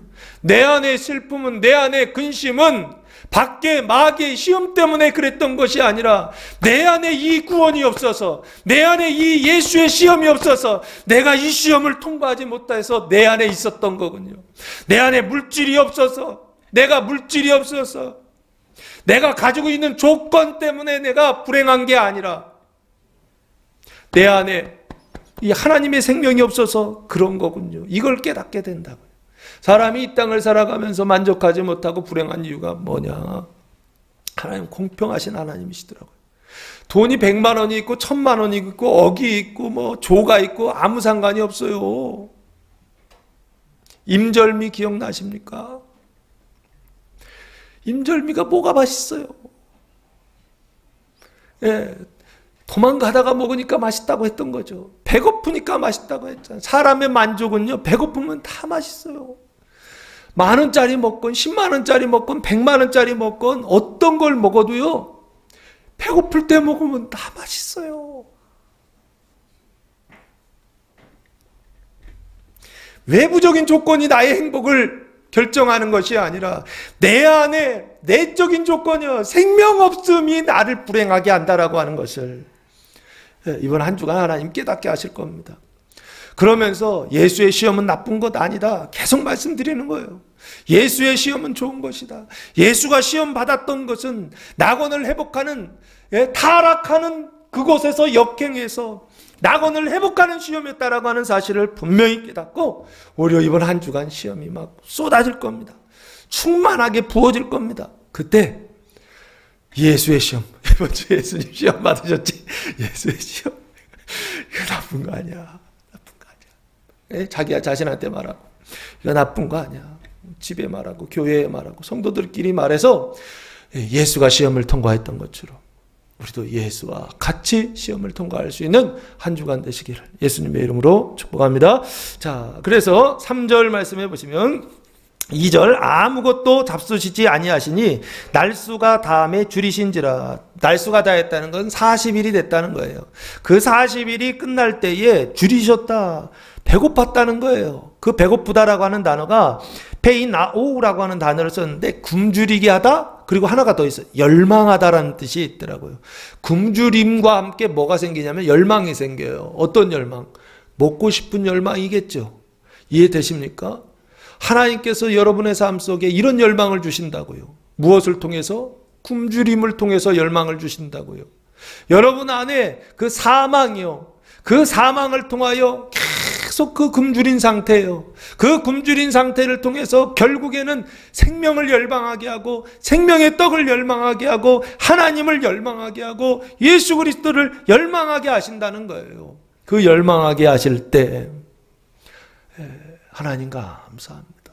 더 열망하게 하셔서 더 풍성한 생명을 누리며 살아가게 하옵소서. 이게 진짜 신앙이라고요. 많은 성도들이요. 하나님이 이 굶주리게 하실 때, 줄이게 하실 때 40일도 되기 전에 한 10일쯤 됐는데 아이고 죽겠네 하면서 하나님을 원망하기 시작해요. 아이 그게 아니라고요. 굶주리게 하셨을 때 생명을 열망하게 하신다. 굶주리게 하셨을 때 낙원을 바라보게 하신다. 열망하게 하신다. 이걸 기억하시라고요. 그래서 그 열망을 통해서 그 시험을 이기는 겁니다. 주님이 우리 안에서 그렇게 역사하신다고요. 굶주리게 하시고 배고프게 하시고 부족하게 하시고 내 뜻대로 내 맘대로 안 되게 하신다고요. 안 되게 하실 때 좋아하시라고요. 그러면서 열망을 가지시라고요. 안 되는 게 목적은 아니에요. 배고파 뒤져라 이 뜻 아니라고요. 배고프게 하셔서 결국에는 뭐냐? 사람이 구원하는 것이 아니라 하나님이 구원하신다라고 하는 것을 보여주시기 위하여 그 일하는 거예요. 예수가 예수 되게 하라 그거죠. 하나님이 하나님 되게 하시려고 사람은 사람 되게 하시고 나는 나 되게 하시고 하나님은 하나님 되심을 보여주시기 위하여 우리의 삶 속에 굶주리게 하신다고요. 예? 자녀들이 말을 안 들어요. 굶주리게 하신다고요. 남편이 말을 안 들어요. 굶주리게 하신다고요. 아내가 말을 안 들어요. 굶주리게 하신다고요. 차별하면 안 돼요. 다 얘기해야 돼요. 위에도 말을 안 들어요. 부모님들이요. 굶주리게 하신다고요. 그러니까 모든 관계 속에서 하나님이 일하시는 겁니다. 계속 일하셔서 굶주리게 하시고 배고프게 하시고 열망하게 하셔서 아유 배고파 죽겠어요 엄마 밥 주세요 우리 성찬이 맨날 배고프면 저한테 와요 엄마한테 안 가고 그 요즘은 이제 4학년이라고 저한테 왔다가 아, 아버지 뭐 해먹을 거 없어요 라면은 아직 위험해서 안 되고 야 그 만두 있다 아 만두가 있군요 만두를 갖고 와서 이거 어떻게 하는 거예요? 그러면 야 살짝 뜯어가지고 전자레인지 3분 뒤집어서 3분 6분 하면 된다. 그래 쥐가 가서 막 아가더니 뭐 냄새가 나요. 나가서 봤더니 접시에다가 쫙 줄 세워가지고 만두 12개를 세워놓고 저 혼자 먹고 있어요.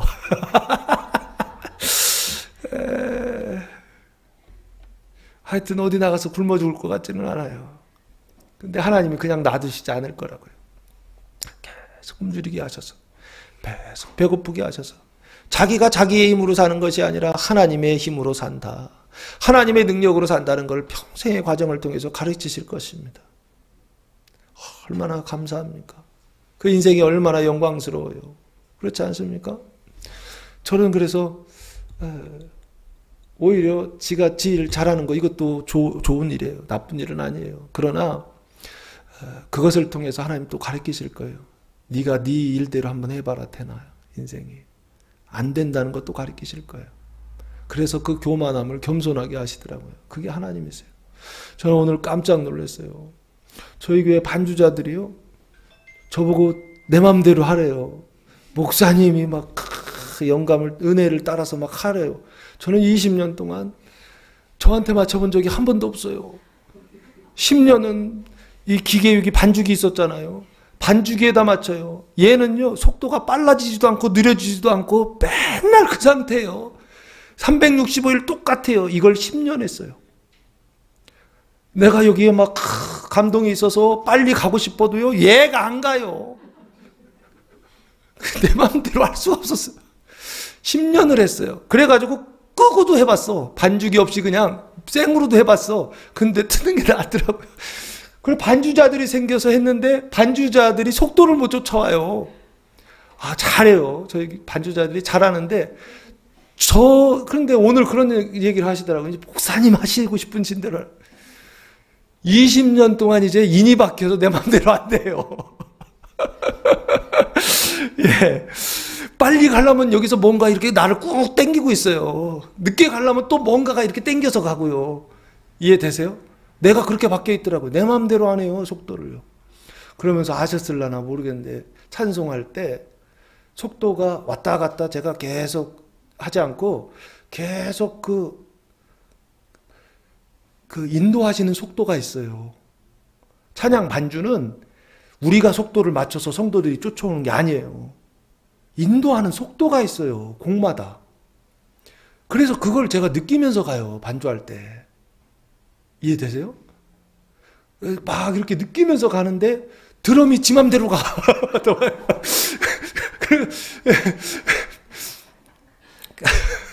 그러면 어떻게 되냐면 0.1 예, 정도 빨리 가요. 그러면 그때 힘들어지는 거예요. 자, 제가 지금 뭔 얘기를 지금 할 게 지금 태산인데 지금 죄송합니다. 죄송합니다. 자, 그래서 어, 지금 음, 줄이신지라 끝나고 3절 마귀가 이르되 네가 만약 하나님의 아들이었던 이 돌들에게 명하여 떡이 되게 하라라고 말씀하고 있습니다. 여기 마귀가 이르되 말하죠. 첫 번째 시험 네가 예수죠. 근데 어떤 예수냐면 줄이신 예수, 배고프신 예수가 만일 하나님의 아들이거든 이렇게 하라 증명하라는 거예요. 예, 이 돌들에게 명하여 떡이 되게 하라라고 그렇게 말씀하고 있어요. 그러면 이 돌들은 어디 있는 돌들이냐면 광야에 있는 돌들이에요. 광야에 돌이 많다 그랬죠. 에, 뭐 아랍 그러니까 사우디아라비아 이런 데는 돌이 아니라 모래가 더 많아요. 그래 사막이라 하는 거고 여기는 광야 돌들이 많아요. 그 돌들에게 명령하라는 거예요. 이 명령하라고 하는 단어가 예, 이게 명, 명하다라고 번역을 해놨는데 에, 말해보라 이런 뜻이에요. 말해보라. 그래서 이 돌들에게 떡이 되게 하라고 말하라 라고 하는 시험이에요. 이해되세요? 어, 지금 이게 첫 번째 시험은 어디, 우리가 초점을 어디에다 두냐면 돌이 떡으로 만드는 기적에다가 초점을 둔다고요. 근데 마귀는 지금 뭐라고 얘기하느냐면 돌이 떡이 되라고 말하라 라고 시험하고 있다고요. 그래서 우리 지금 개정개혁 성경에는 돌들에게 명하여 떡이 되게 하라라고 그렇게 번역해 놨죠.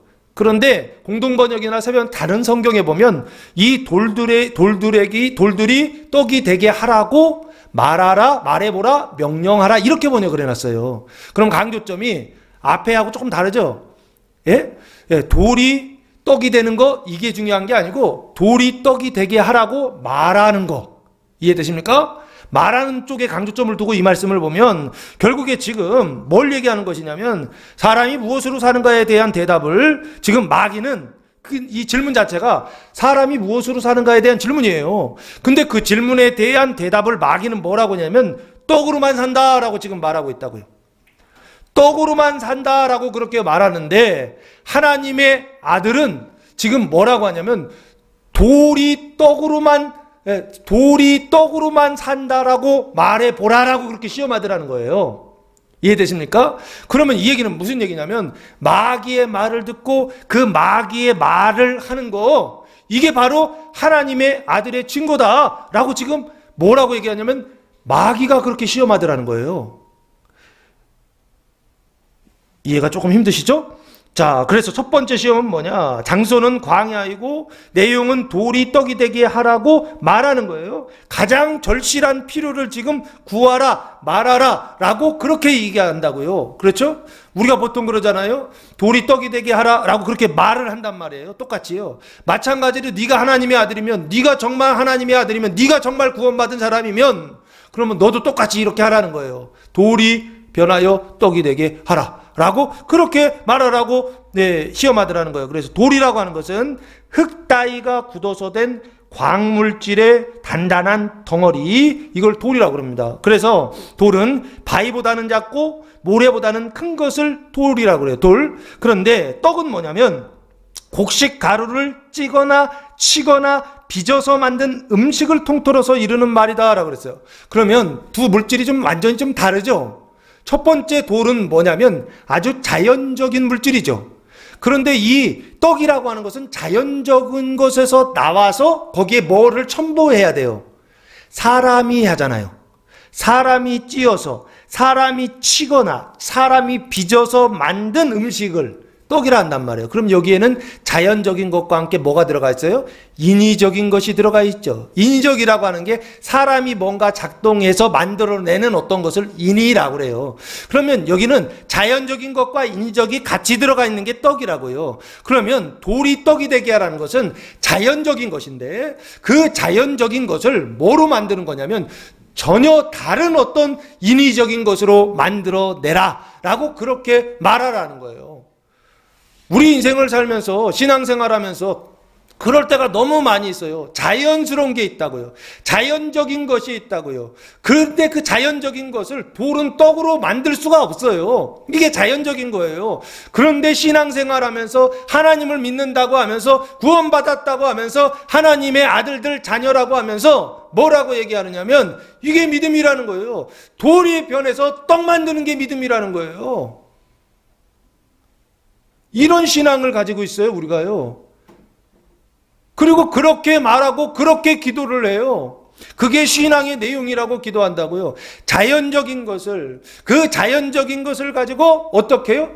인위적인 것을 만들어 내라라고 계속 그렇게 주문을 걸고, 어, 신앙생활 기도하면서 신앙생활 하더라는 거예요. 된다, 안 된다. 된다, 안 된다. 하나님은 되시겠죠. 안 되지는 않을 거예요. 그러나 하나님 해주신다, 안 해주신다. 절대 안 해주신다는 거예요. 근데 우리는 안 되는 그것을 가지고 계속 어떻게 이게 하나님의 아들이야, 이게 신앙이야 라고 생각하면서 돌을 떡으로 만들려고 하는 그런 신앙생활 하고 있는 거 아니냐는 거예요. 이게 첫 번째 시험이에요. 그때 예수님께서 뭐라고 대답하시냐면 4절 말씀 예수께서 대답하시되 기록된 바 이 기록되다라고 하는 건 성경을 얘기하고 지금 보면 구약을 얘기하고 구체적으로는 신명기 8장 3절이에요. 사람이 떡으로만 살 것이 아니라 하였느니라. 단답형으로 아주 간단하게 대답하셨어요. 근데 신명기는 조금 더 길어요. 신명기 8장 3절 말씀을 한번 보시기 바랍니다. 신명기 8장 3절 말씀해 보시면 너를 낮추시며 너를 줄이게 하시며 또 너도 알지 못하며 내 조상들도 알지 못하던 만나를 내게 먹이신 것은 사람이 떡으로만 사는 것이 아니요 하나님의 입에서 나오는 모든 말씀으로 사는 줄을 네가 알게 하려 하심이라라고 말씀하고 있어요. 만나 주신 이유와 목적은 사람이 무엇으로 사는가에 대한 아주 분명한 대답을 주시는 거다. 그죠? 하나님이 만나를 주신 것은 떡으로도 산다. 근데 떡으로만 사는 것 아니다. 떡도 필요해. 근데 떡으로만 사는 것 아니고 플러스 뭐가 필요하다? 하나님의 입으로부터 나오는 말씀으로 살아야 된다. 라고 두 가지를 얘기하고 있죠. 왜 그럴까요? 사람은 겉사람이 있으니까 떡 먹어야 돼요. 근데 겉사람만 있는 게 아니라 눈에 보이지 않는 속사람이 있다라고 그랬죠. 사람의 영과음과 육이 있는 그 마음 속에 있는 그 속사람이 있다고요. 그 속사람도 양식을 먹어야 된다고요. 영원히 양식을 먹어야 된다고요. 속사람 눈에 보이지 않는 사람이 양식을 먹어야 된다고요. 그 사람의 양식이 뭐라고요? 하나님의 말씀이요. 여호와의 입에서 나오는 하나님의 말씀입니다. 전제가 여호와의 입에서 나오는 하나님의 말씀을 먹어야 속 사람이 살고 그 말씀을 먹어야 결국에는 이 겉사람도 사는 거예요. 속 사람이 살아야 겉사람이 사는데 속 사람이 죽으니까 겉사람도 죽어 있는 상태. 이게 바로 아담과 하와의 그 후손들 원죄를 가지고 태어나는 그 사람들의 모습이라고요. 아시겠습니까? 그래 예수님 말씀하시는 거예요. 사람은 떡으로만 사는 것 아니다라는 거예요. 그러니까 돌이 떡이 되게 하라. 이런 말 하지 말라는 거예요. 그리고 오히려 무슨 말 해야 되느냐? 사람이 진짜 사는 건 떡으로도 살지만 하나님의 말씀으로 살기 때문에 그 하나님의 말씀을 어떻게 하느냐면 먹어라. 이 얘기죠. 근데 여기는 하나님의 말씀 얘기를 안 했어요. 뭐에, 뭐에는 마이너스 부정적인 것만 얘기했다고요. 사람이 떡으로만 사는 건 아니다. 이 얘기만 하셨다고요. 아니다라는 거예요. 사람이 떡으로만 산다고 생각한다고요. 그래서 돌을 떡으로 만들려고 한다고요. 돌만 떡으로 만들려고 합니까? 예, 안 되는 것도 막 되게 하려고 하잖아요. 그 안 되는 것을 되게 하는 것, 이걸 뭐라고 그래요? 어떤 성공이나 신앙적인 어떤 승리나 어떤 목적, 자기의 목적을 위해서 그, 그 목적이 뭐냐면 그 주림과 그 배고픔과 그 목마름과 그 사회의 그 경제적인 그 불평등이라고 하는 그 문제를 해결하기 위해서 수단 방법을 가리지 말고 어떻게 하라는 거예요? 네가 되게 하라라고 하는 시험이 첫 번째 시험이 아니냐 하는 겁니다. 수단 방법을 가리지 마라. 이게 오늘 우리 신앙인들의 모습하고 비슷하지 않습니까? 수단 방법을 가리지 말고 물질적인 문제 있으면 해결하라. 수단 방법을 가리지 말고 어떻게 해요? 돌이 떡이 되게 하라. 근데 예수님은 떡으로만 사는 것 아니다 그러시더라는 거예요. 수단 방법을 가리지 않는 삶을 사회가 요구하지 않습니까? 내가 사회에서 도태되지 않고, 내가 사회에서 명태되지 않고, 내가 사회에서 쫓겨나지 않고, 내가 직장에서 그래도 버티면서 살기 위해서는 어떻게 해야 돼요? 내 양심도 버려야 되고, 내 가치도 버려야 되고, 내, 내 마음 속에 내 이런 것들 다 버려야 돼요. 그러면서 어떻게 삽니까? 간도 쓸개도 다 빼주면서 수단 방법을 가리지 말고 붙어만 있어라. 또 조금 더 큰 야망을 가진 사람들은 수단 방법을 가리지 말고 밟고 지나가라. 돌이 떡이 되게 하는 거하고 뭐가 다르냐고요. 이 마귀의 소리를 듣는 사람들이요. 돌이 떡이 되게 하라는 사람들은 어느 순간부터 이걸 버린다고요. 사회생활 해봐. 네가 안 해봐서 그래. 그래서 10년 해보시라고요. 그래서 20년 해보시라고요. 당신 안에 있는 생명 다 빼앗깁니다. 당신 안에 있는 하나님의 생명 다 빼앗기고 당신에게 주신 하나님의 은혜 다 빼앗기게 되고 낙원을 다 상실하게 되고 내가 가지고 있었던 기존에 내가 가지고 있었던 것과 우리 가정에게 주신 것들과 우리 가문에게 주신 모든 것들까지도 다 뺏겨요 다 뺏겨요. 왜? 이 첫 번째 시험 통과하지 못해서 그런 겁니다. 돌이 떡에 되게 하라는 마귀의 말을 듣고 말하는 거예요 우리가 지금 그렇게 말하고 살지 않습니까? 우리 신앙이 마귀의 말 듣고서 그렇게 말하면서 돌이 떡이 되게 하라 사람이 예? 말씀으로만 사는 거 아니야. 오히려 반대로 얘기하고 있지 않습니까? 사람이 사는데 떡도 필요해. 목사님은 교회에만 있어서 그래. 맞아요. 저는 교회밖에 몰라요. 그래서 사회생활 몰라서 그래. 그럴 수 있습니다. 근데 여러분 아시잖아요. 수단 방법을 가리지 않고 세상 속에서 살아보셨잖아요. 10년, 20년, 30년, 40년 살아보셨잖아요. 이제 아버지 나라 갈 때 되지 않았나요? 결론이 뭐냐고요? 그렇게 수단 방법 가리지 않고 올라갔더니 결국에는 내 안에 있었던 이 속 사람의 생명까지 다 뺏기지 않았습니까? 그래서 그 단물 그거 다 뺏어 먹고 나서 이제 단물 없으니까 버리는 거 이게 세상 아닌가요? 옛날엔 그래도 예, 고용이라고 하는 것이 안정돼 있었어요. 한번 들어가면 평생 지역장이었잖아요. 지금 어떻습니까? 40만 내면 나가래요. 눈치 봐야 돼요. 어떻게 하시냐고요? 저는 안 해봐서 모르겠는데, 예, 그렇게들 얘기하시더라고요. 근데 그렇게 얘기할 수밖에 없어요. 밑에서는 애들 치고 올라오지. 이미 나는 퇴물이 됐는데 누가 써주냐고요. 그러니까 더 악랄하게 수단 방법을 가리지 않고 사장이 되고 회장이 되려고 하는 거 아닙니까? 내가 잘리지 않고 내가 자르는 사람 되려고요. 이게 예, 첫 번째 도리, 도를 명하여 떡이 되게 하라는 거하고 똑같지 않습니까? 마귀가 그렇게 말하라는 거예요. 돌을 떡으로 만들라고 말하라는 거예요. 안 되는 거 되게 하라라고 얘기하는 거예요. 그래서 네 안에 양심도 다 팔아먹고 그리고 신앙도 다 팔아먹고 주일날도 교회 가지 말고 뭐 하라는 거예요? 주일날 교회 가는 거 하나님께 봉헌하는 거거든요. 내용이 사는 방법이에요 이게. 근데 그거 하지 말라고 얘기하지 않습니까? 그래서 어떻게 해요? 내 안에 있었던 거 다 빼먹는다고요. 마귀가. 이런 첫 번째 시험을 못 이기면 그렇게 되는 거예요. 예수님께서 사람이 떡으로만 사는 것 아니다라고 그렇게 말씀하신다고요. 그러면서 결국에는 여호와의 말씀으로 산다. 이게 플러스라고요. 사람이 떡으로만 사는 것 아니다. 이 신앙을 가져야 된다고요.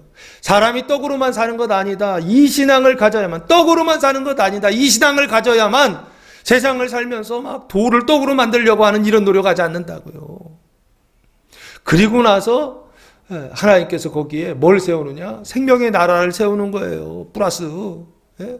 마이너스 계속 하나님께서 잘라내시고 계속 빼 가시다가 어느 순간 돌이켜서 플러스로 넘겨주신다고요. 생명의 나라를 여기다 막 세워주시는 거예요. 그때부터는 세상이 감당하지 못하는 사람이 됩니다. 더 늦기 전에 돌아오세요. 더 늦기 전에 하나님께로 돌아오셔요. 돌아오셔서 첫 번째 시험을 통과하고 이제는 물질적인 이것이 내가 나를 구원하는 수단이 아니라 하나님께서 그 물질적인 것을 내 물질을 내 그 재산을 내 소유를 하나님이 주관하셔서 다스려 주셔서.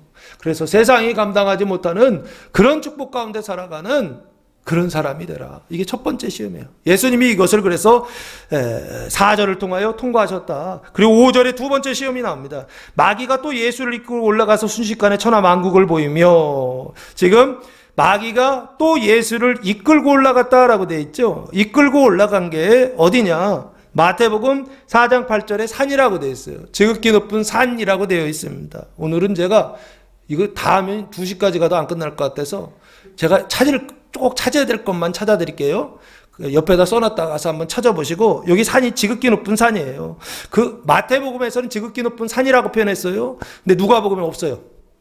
그러면 그냥 이끌고 간 거예요.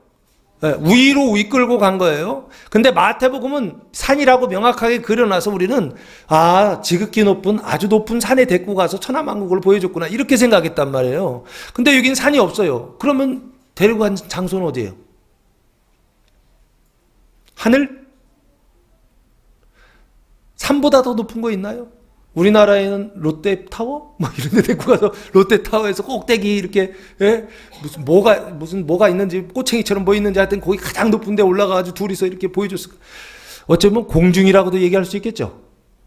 이거 얘기하고 싶은 거예요. 마태복음은 산이라고 딱 명확하게 장소를 지칭했는데, 에, 누가 보면 없어요. 그래서 제가 고민했던 거예요.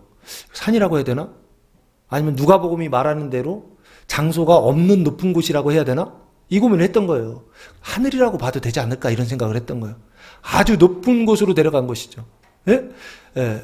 예, 예수님을 데리고 간 거예요. 이끌고 올라가서 그래서 순식간에 천하만국을 보였다. 이 얘기는 무슨 얘기예요? 순자와 식간이라고 하는 단어의 합성어인데 순이라고 하는 것은 스타 스티그메 스티그메라고 하는 단어를 사용했네요. 즉시라는 뜻이고요. 그리고 식간이라고 하는 단어가 크로노스라고 하는 단어예요. 이 뜻은 시간의 간격을 얘기하는데 이 시간은 두 가지예요. 양적인 시간이 있고 질적인 시간이 있어요. 사건의 시간은 카이로스로 그러고 이거는 질적인 시간. 태어나서 죽을 때까지 시간이 그냥 흘러가잖아요. 이런 것을 크로노스라고 그래요. 여기 순식간에 시간인데 그냥 순식간에 예, 순식간에 높은 곳으로 데려갔다는 거예요. 그 높은 곳으로 데려가서 천하 만국을 보여 천하 만국이라고 돼 있죠. 이 천이라고 하는 것이 예, 보통 하늘 천자를 쓸 줄 알았어요. 근데 천이 우라노스가 아니에요. 예, 오이쿠메네라고 하는 단어를 사용했어요. 오이쿠메네라고 하는 단어를 사용했는데 뜻이 뭐냐면 땅이라는 뜻이에요. 그래서 지구상의 육지 부분이 있죠. 이 육지 부분을 오이쿠멘의 천하 그래서 번역을 하늘 아래 그죠? 하늘 아래가 땅이잖아요. 그래서 천하라고 번역해 놓은 거예요. 그러면 예전에 우리 이 단어를 쓸 때 천하를 쓸 때는 항상 앞에 뭐가 붙냐면 천상천하 유아독존 이 기억나세요? 천상이라는 게 있죠. 이거를 비교해서 볼 수 있어야 돼요. 천하를 지금 보여줬다. 천하 만국을 보여줬다라고 하는 건 반대에 뭐가 있는 거예요. 이해되시죠? 천상이라고 하는 것은 하늘 위에죠. 하늘 아래가 땅이면 하늘 위에는 뭐냐고요? 천상이요.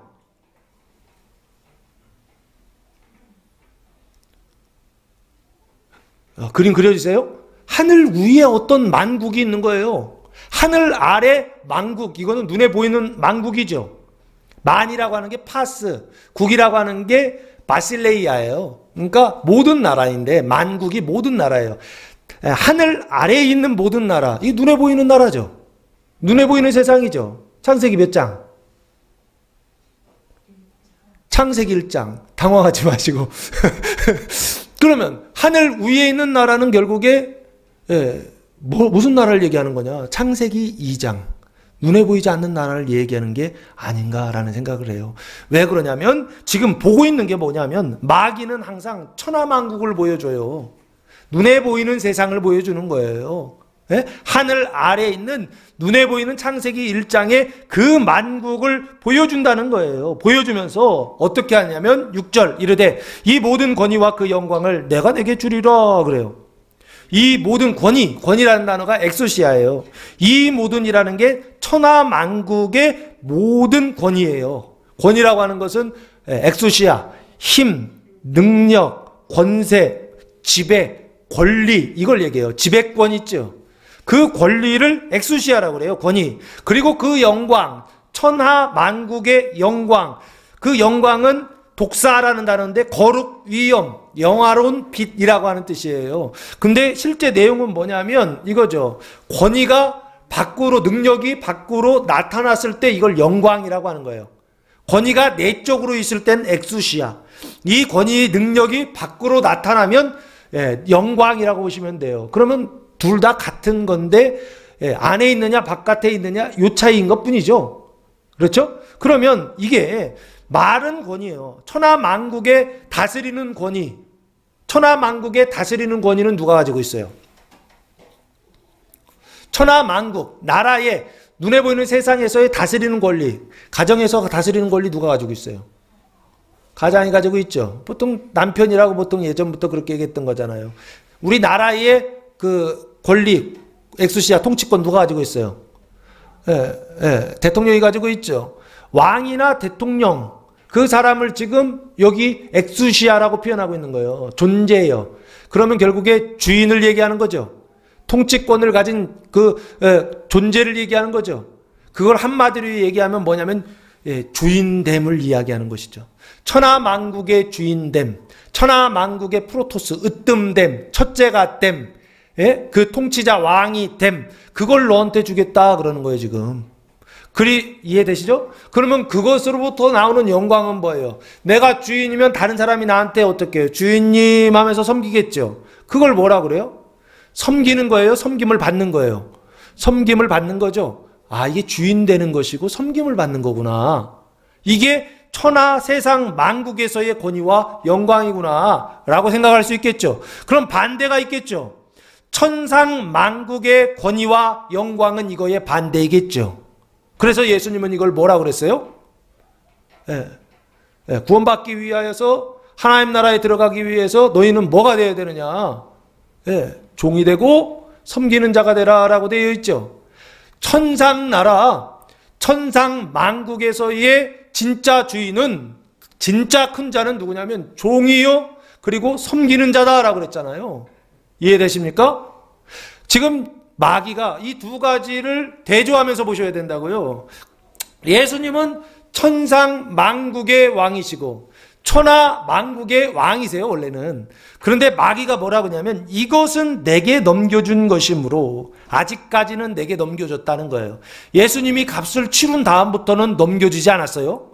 근데 타락한 이후부터 지금까지는 넘겨줬다는 거예요. 그러면 천하 만국의 권위와 영광을 넘겨 마귀에게 넘겨주신 것이죠. 누가 넘겨주신 거예요?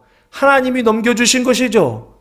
왜? 범죄했기 때문에 그 범죄한 죄인의 그 권리, 통치권을 마귀한테 주셨다라는 거죠.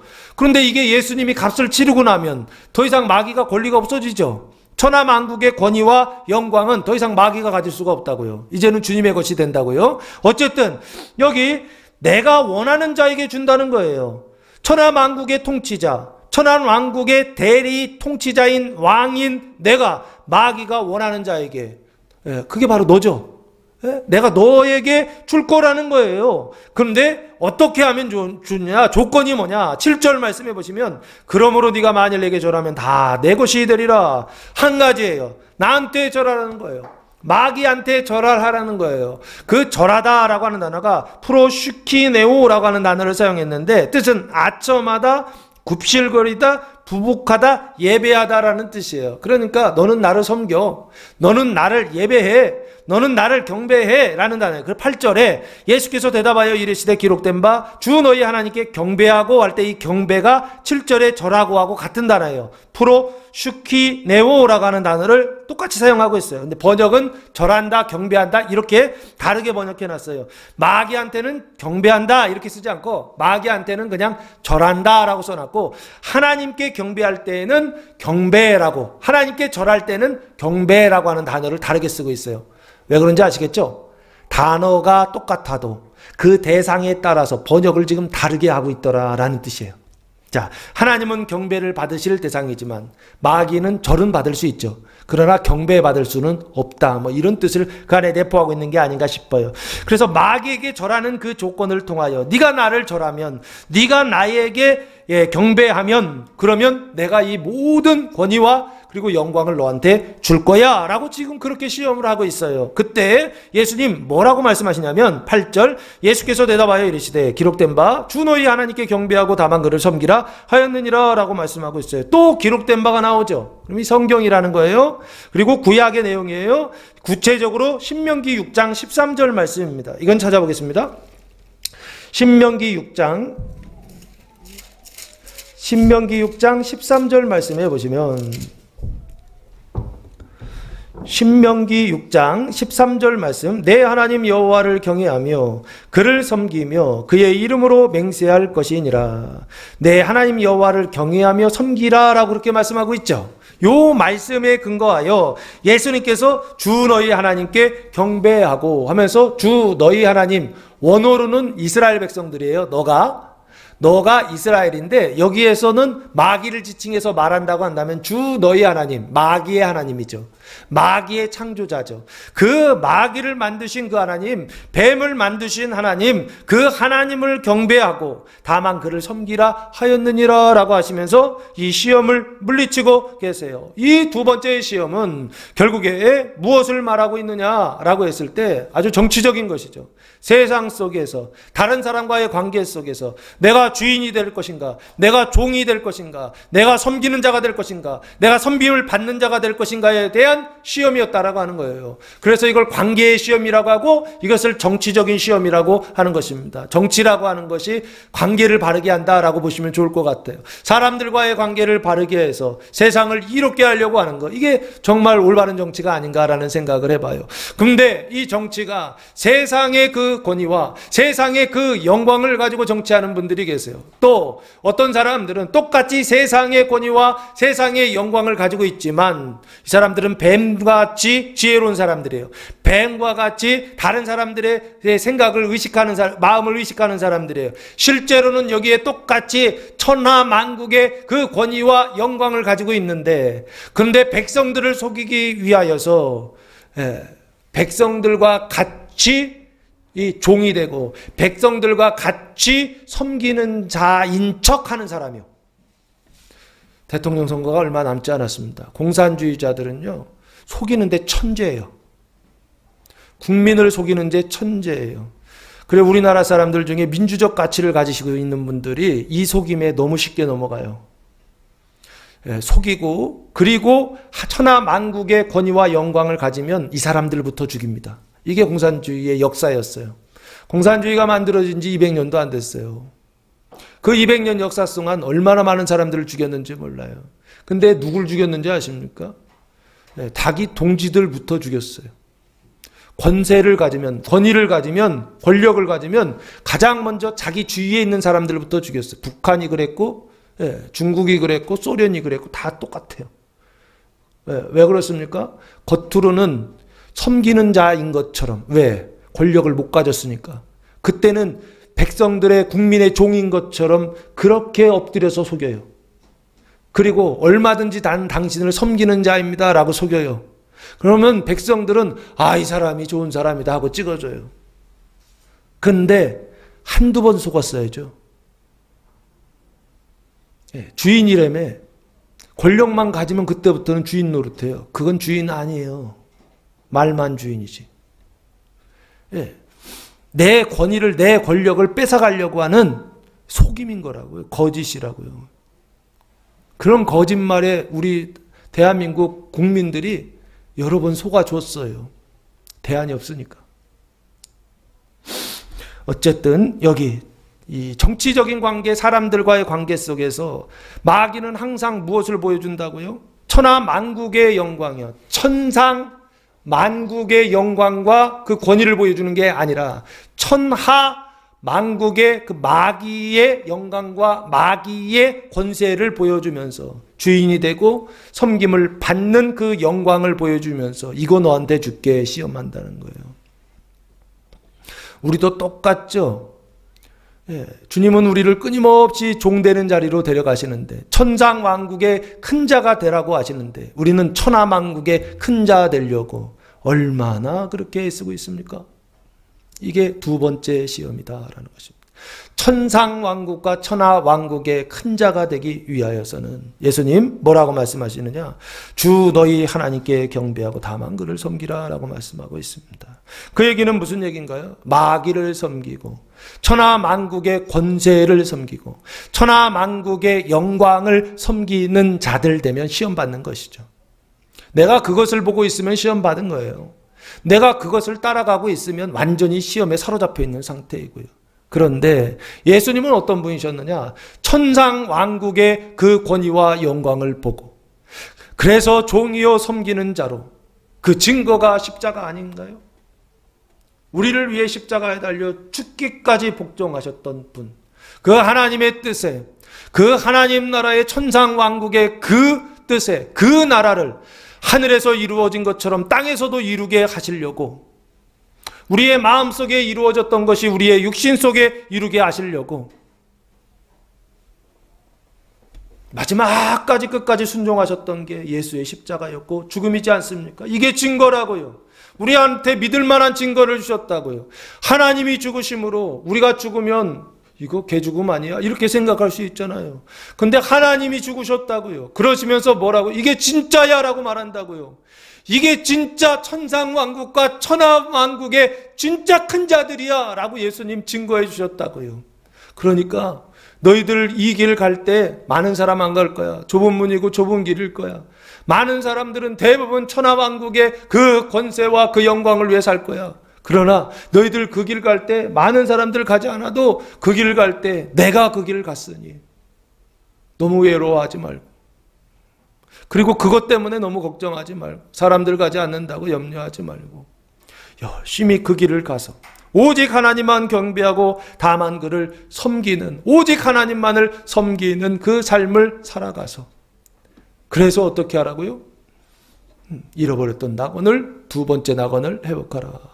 그 두 번째 낙원이 육신에 우리 육신에 무엇을요? 그 관계에 있었던 그 정치적인 하나님의 형상을 회복하는 방법이다라고 하는 것입니다. 마지막 세 번째는 구절 말씀해 보시면 또 이끌고 예루살렘으로 가서 성전 꼭대기에 세우고 이르되 네가 만일 하나님의 아들이거든 여기서 뛰어내리라라고 말씀하고 있어요. 이번에는 장소가 딱 나와 있죠. 이끌고 예루살렘으로 가세요.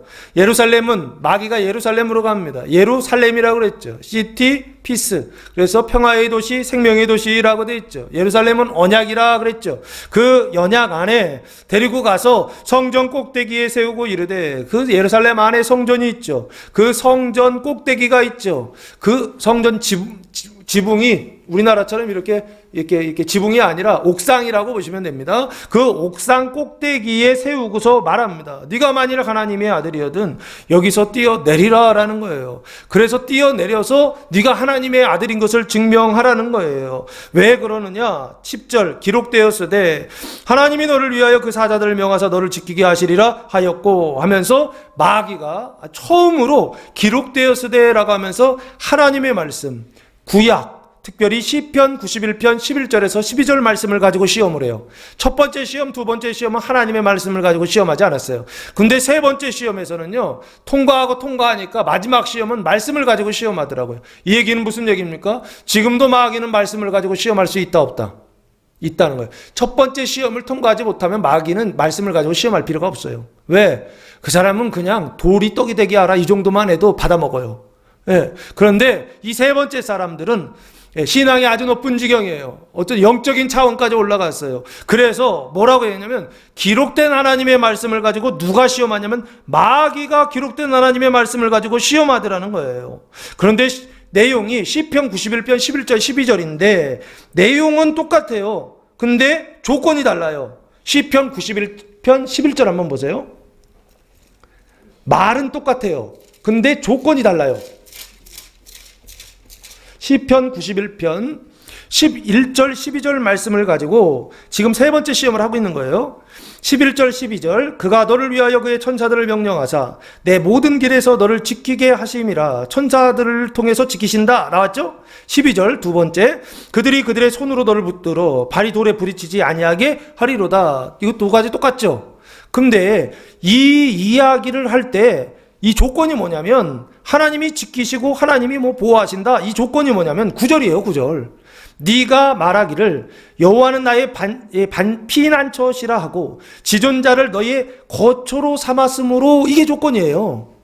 하나님을 피난처로 삼고 하나님을 거처로 삼은 사람들을 지키시고 보호하신다. 이 얘기로 간 거예요. 근데 마귀는 앞에 거는 조건은 싹 빼버리고 뭐라고 되어 있느냐면 그 뒤에 결과만을 이야기하면서 시험하고 있죠. 뛰어내리라. 그러면 지키시고 보호하실 것이다. 하나님의 말씀을 어떻게 바꾼 거예요? 예, 뒤에 결론만 딱 잘라가지고 앞에 건 빼버리고 뒤에 것만 가지고 가서 앞에 거를 가지고 지금 바꿔서 시험하고 있죠. 그렇죠. 악마의 편집 같은 것이죠, 이게. 예. 예, 사람이 살, 이, 그, 막 이렇게 말하고 막 이렇게 행동할 때, 한 시간 동안 막 연설을 했는데, 99분 동안은 칭찬을 했어. 그리고서 1분 동안 비판을 했는데, 그 1분 동안 비판한 것을 가지고 뉴스에 내보내면, 그 사람은 거기에서 한 시간 내내 강연하면서 비판한 사람으로 만들 수 있어요. 편집할 수. 마귀가 지금 그 짓 한 거예요. 이게 악마의 편집이라고 하는 거예요. 이게. 지금 내용이 예, 이렇게 돼 있어요. 마귀는 네가 만일 하나님의 아들이거든 여기서 뛰어내리라. 이거는 시편의 말씀이 없어요. 그죠? 뛰어내리라라고 그렇게 되어 있어요. 이게 뛰어내리면 마치 이런 것이죠. 옥상에서 뛰어내렸어요. 그러면 다쳐야 안 다쳐요? 다치죠. 아파트에서 뛰어내렸어요. 이건 다치는 게 아니라 죽어요, 살아요. 죽죠. 지금 그 상황이라고요. 이거는 자연 법칙이란 말이에요. 뛰어내리면 죽게 돼 있어요. 그런데 우리는요, 뛰어내리면서도 하나님께서 살려주실 거예요. 신앙생활 하면서 뛰어내리면서도 안 다칠 거야. 뛰어내리면서도 나는 살 거야. 이런 신앙을 가지고 있다니까요. 이 신앙은 신앙은 신앙인데 어떤 신앙이냐? 맹목적인 신앙이요, 마귀의 신앙이요, 사망으로 가는 신앙이요, 멸망으로 가는 신앙이다라고 하는 걸 기억하시라고요. 이걸 예수님이 요 신앙을 뭐라고 말씀하셨냐면 이렇게 말씀하세요. 12절 예수께서 대답하여 이르시되 주 너희 하나님을 시험하지 말라. 시험이라는 거예요. 하나님의 말씀을 가지고 시험하더라는 거예요. 마귀가 시험하는데 마귀의 상태에 있는 사람들이 똑같이 마귀의 말을 듣고 하나님이 지키실 거야. 하나님이 보호하여 주실 거야. 그러니까 위험해도 해. 뛰어내려. 안 다쳐. 에? 다친다고요. 아, 이런 바보 같은 소리가 어딨어요?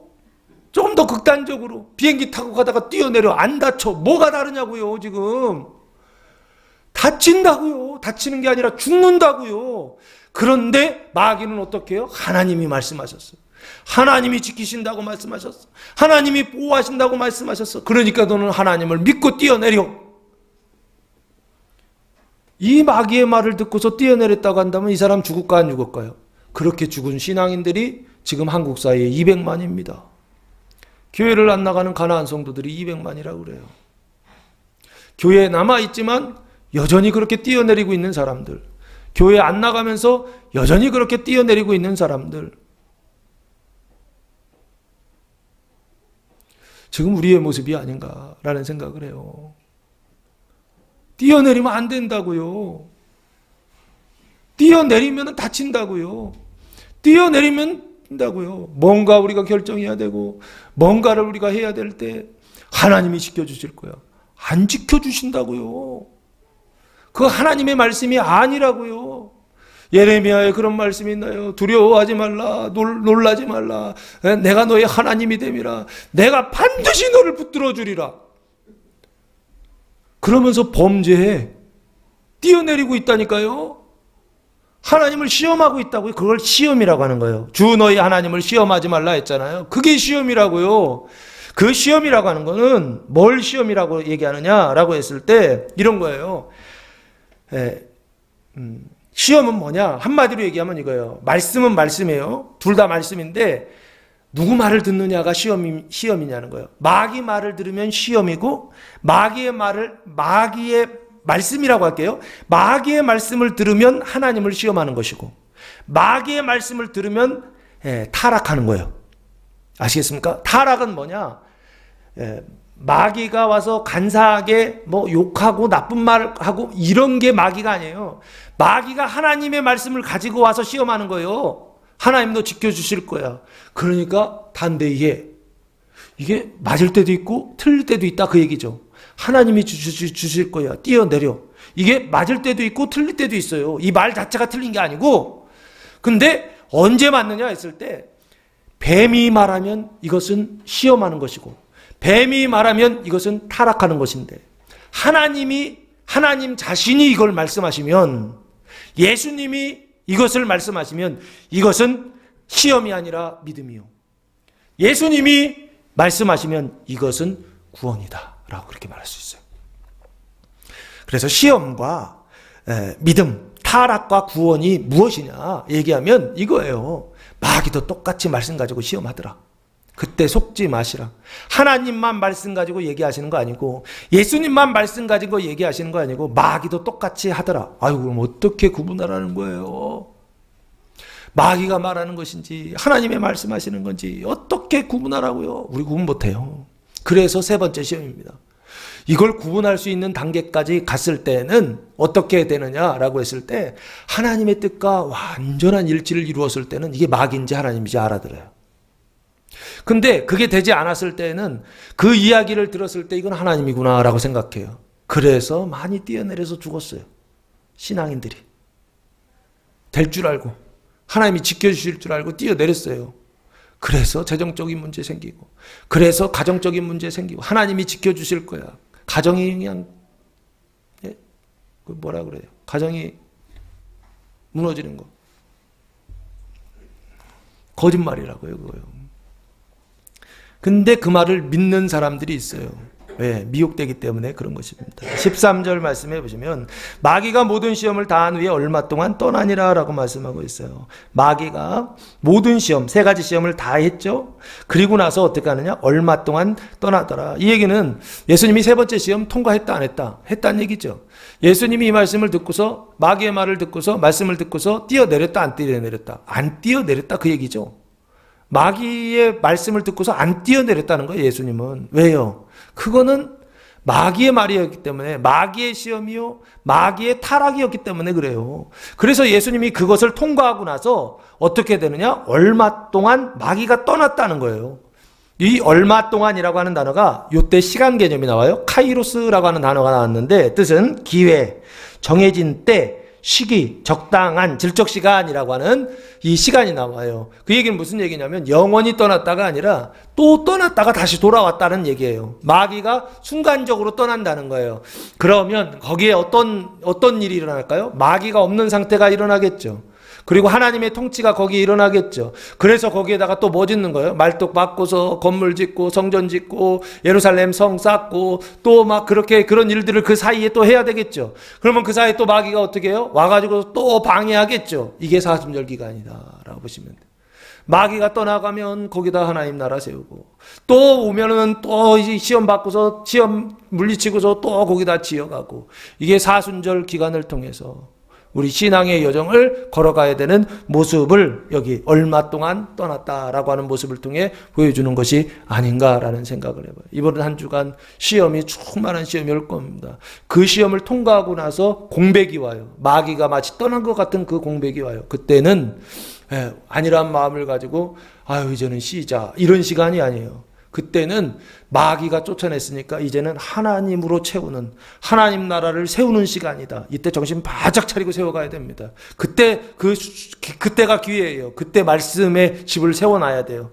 예, 그래서 1차전 끝나고 잠시 휴식을 취하고 2차전에 들어간다라고 하는 말씀으로 얼마 동안 떠났다라고 말씀하고 있는 게 아닌가라는 생각을 해봅니다. 사랑하는 성도 여러분, 이번 주간 육신의 죄가 의로 구원을 받는 예수 시험의 복음이 선포될 때 그 말씀을 믿고 따름으로 육신의 모든 시험을 이기고 자기 땅을 우리에게 주신 그 땅을 유업을 기업으로 차지하는 성도들 되시기를 예수님의 이름으로 축복합니다. 기도하겠습니다. 사랑과 은혜가 풍성하신 아버지 하나님, 감사와 찬송과 영광을 올려드립니다. 이번 주간 육신의 죄가 의로 구원을 받는 예수 시험의 복음이 선포될 때 믿고 따르게 하옵소서. 그리하여 우리의 육신의 모든 시험을 이기고 자기 땅을 유업을 기업으로 차지하는 성도들 되게 하옵소서. 이제는 우리 주 예수 그리스도의 은혜와 하나님 아버지의 무한하신 사랑하심과 역사하심과 교통하심이 사랑하는 성도들 머리에와 가정에와 교회 위에 이제로부터 영원토록 함께 하시기를 간절히 축원하옵나이다. 아멘.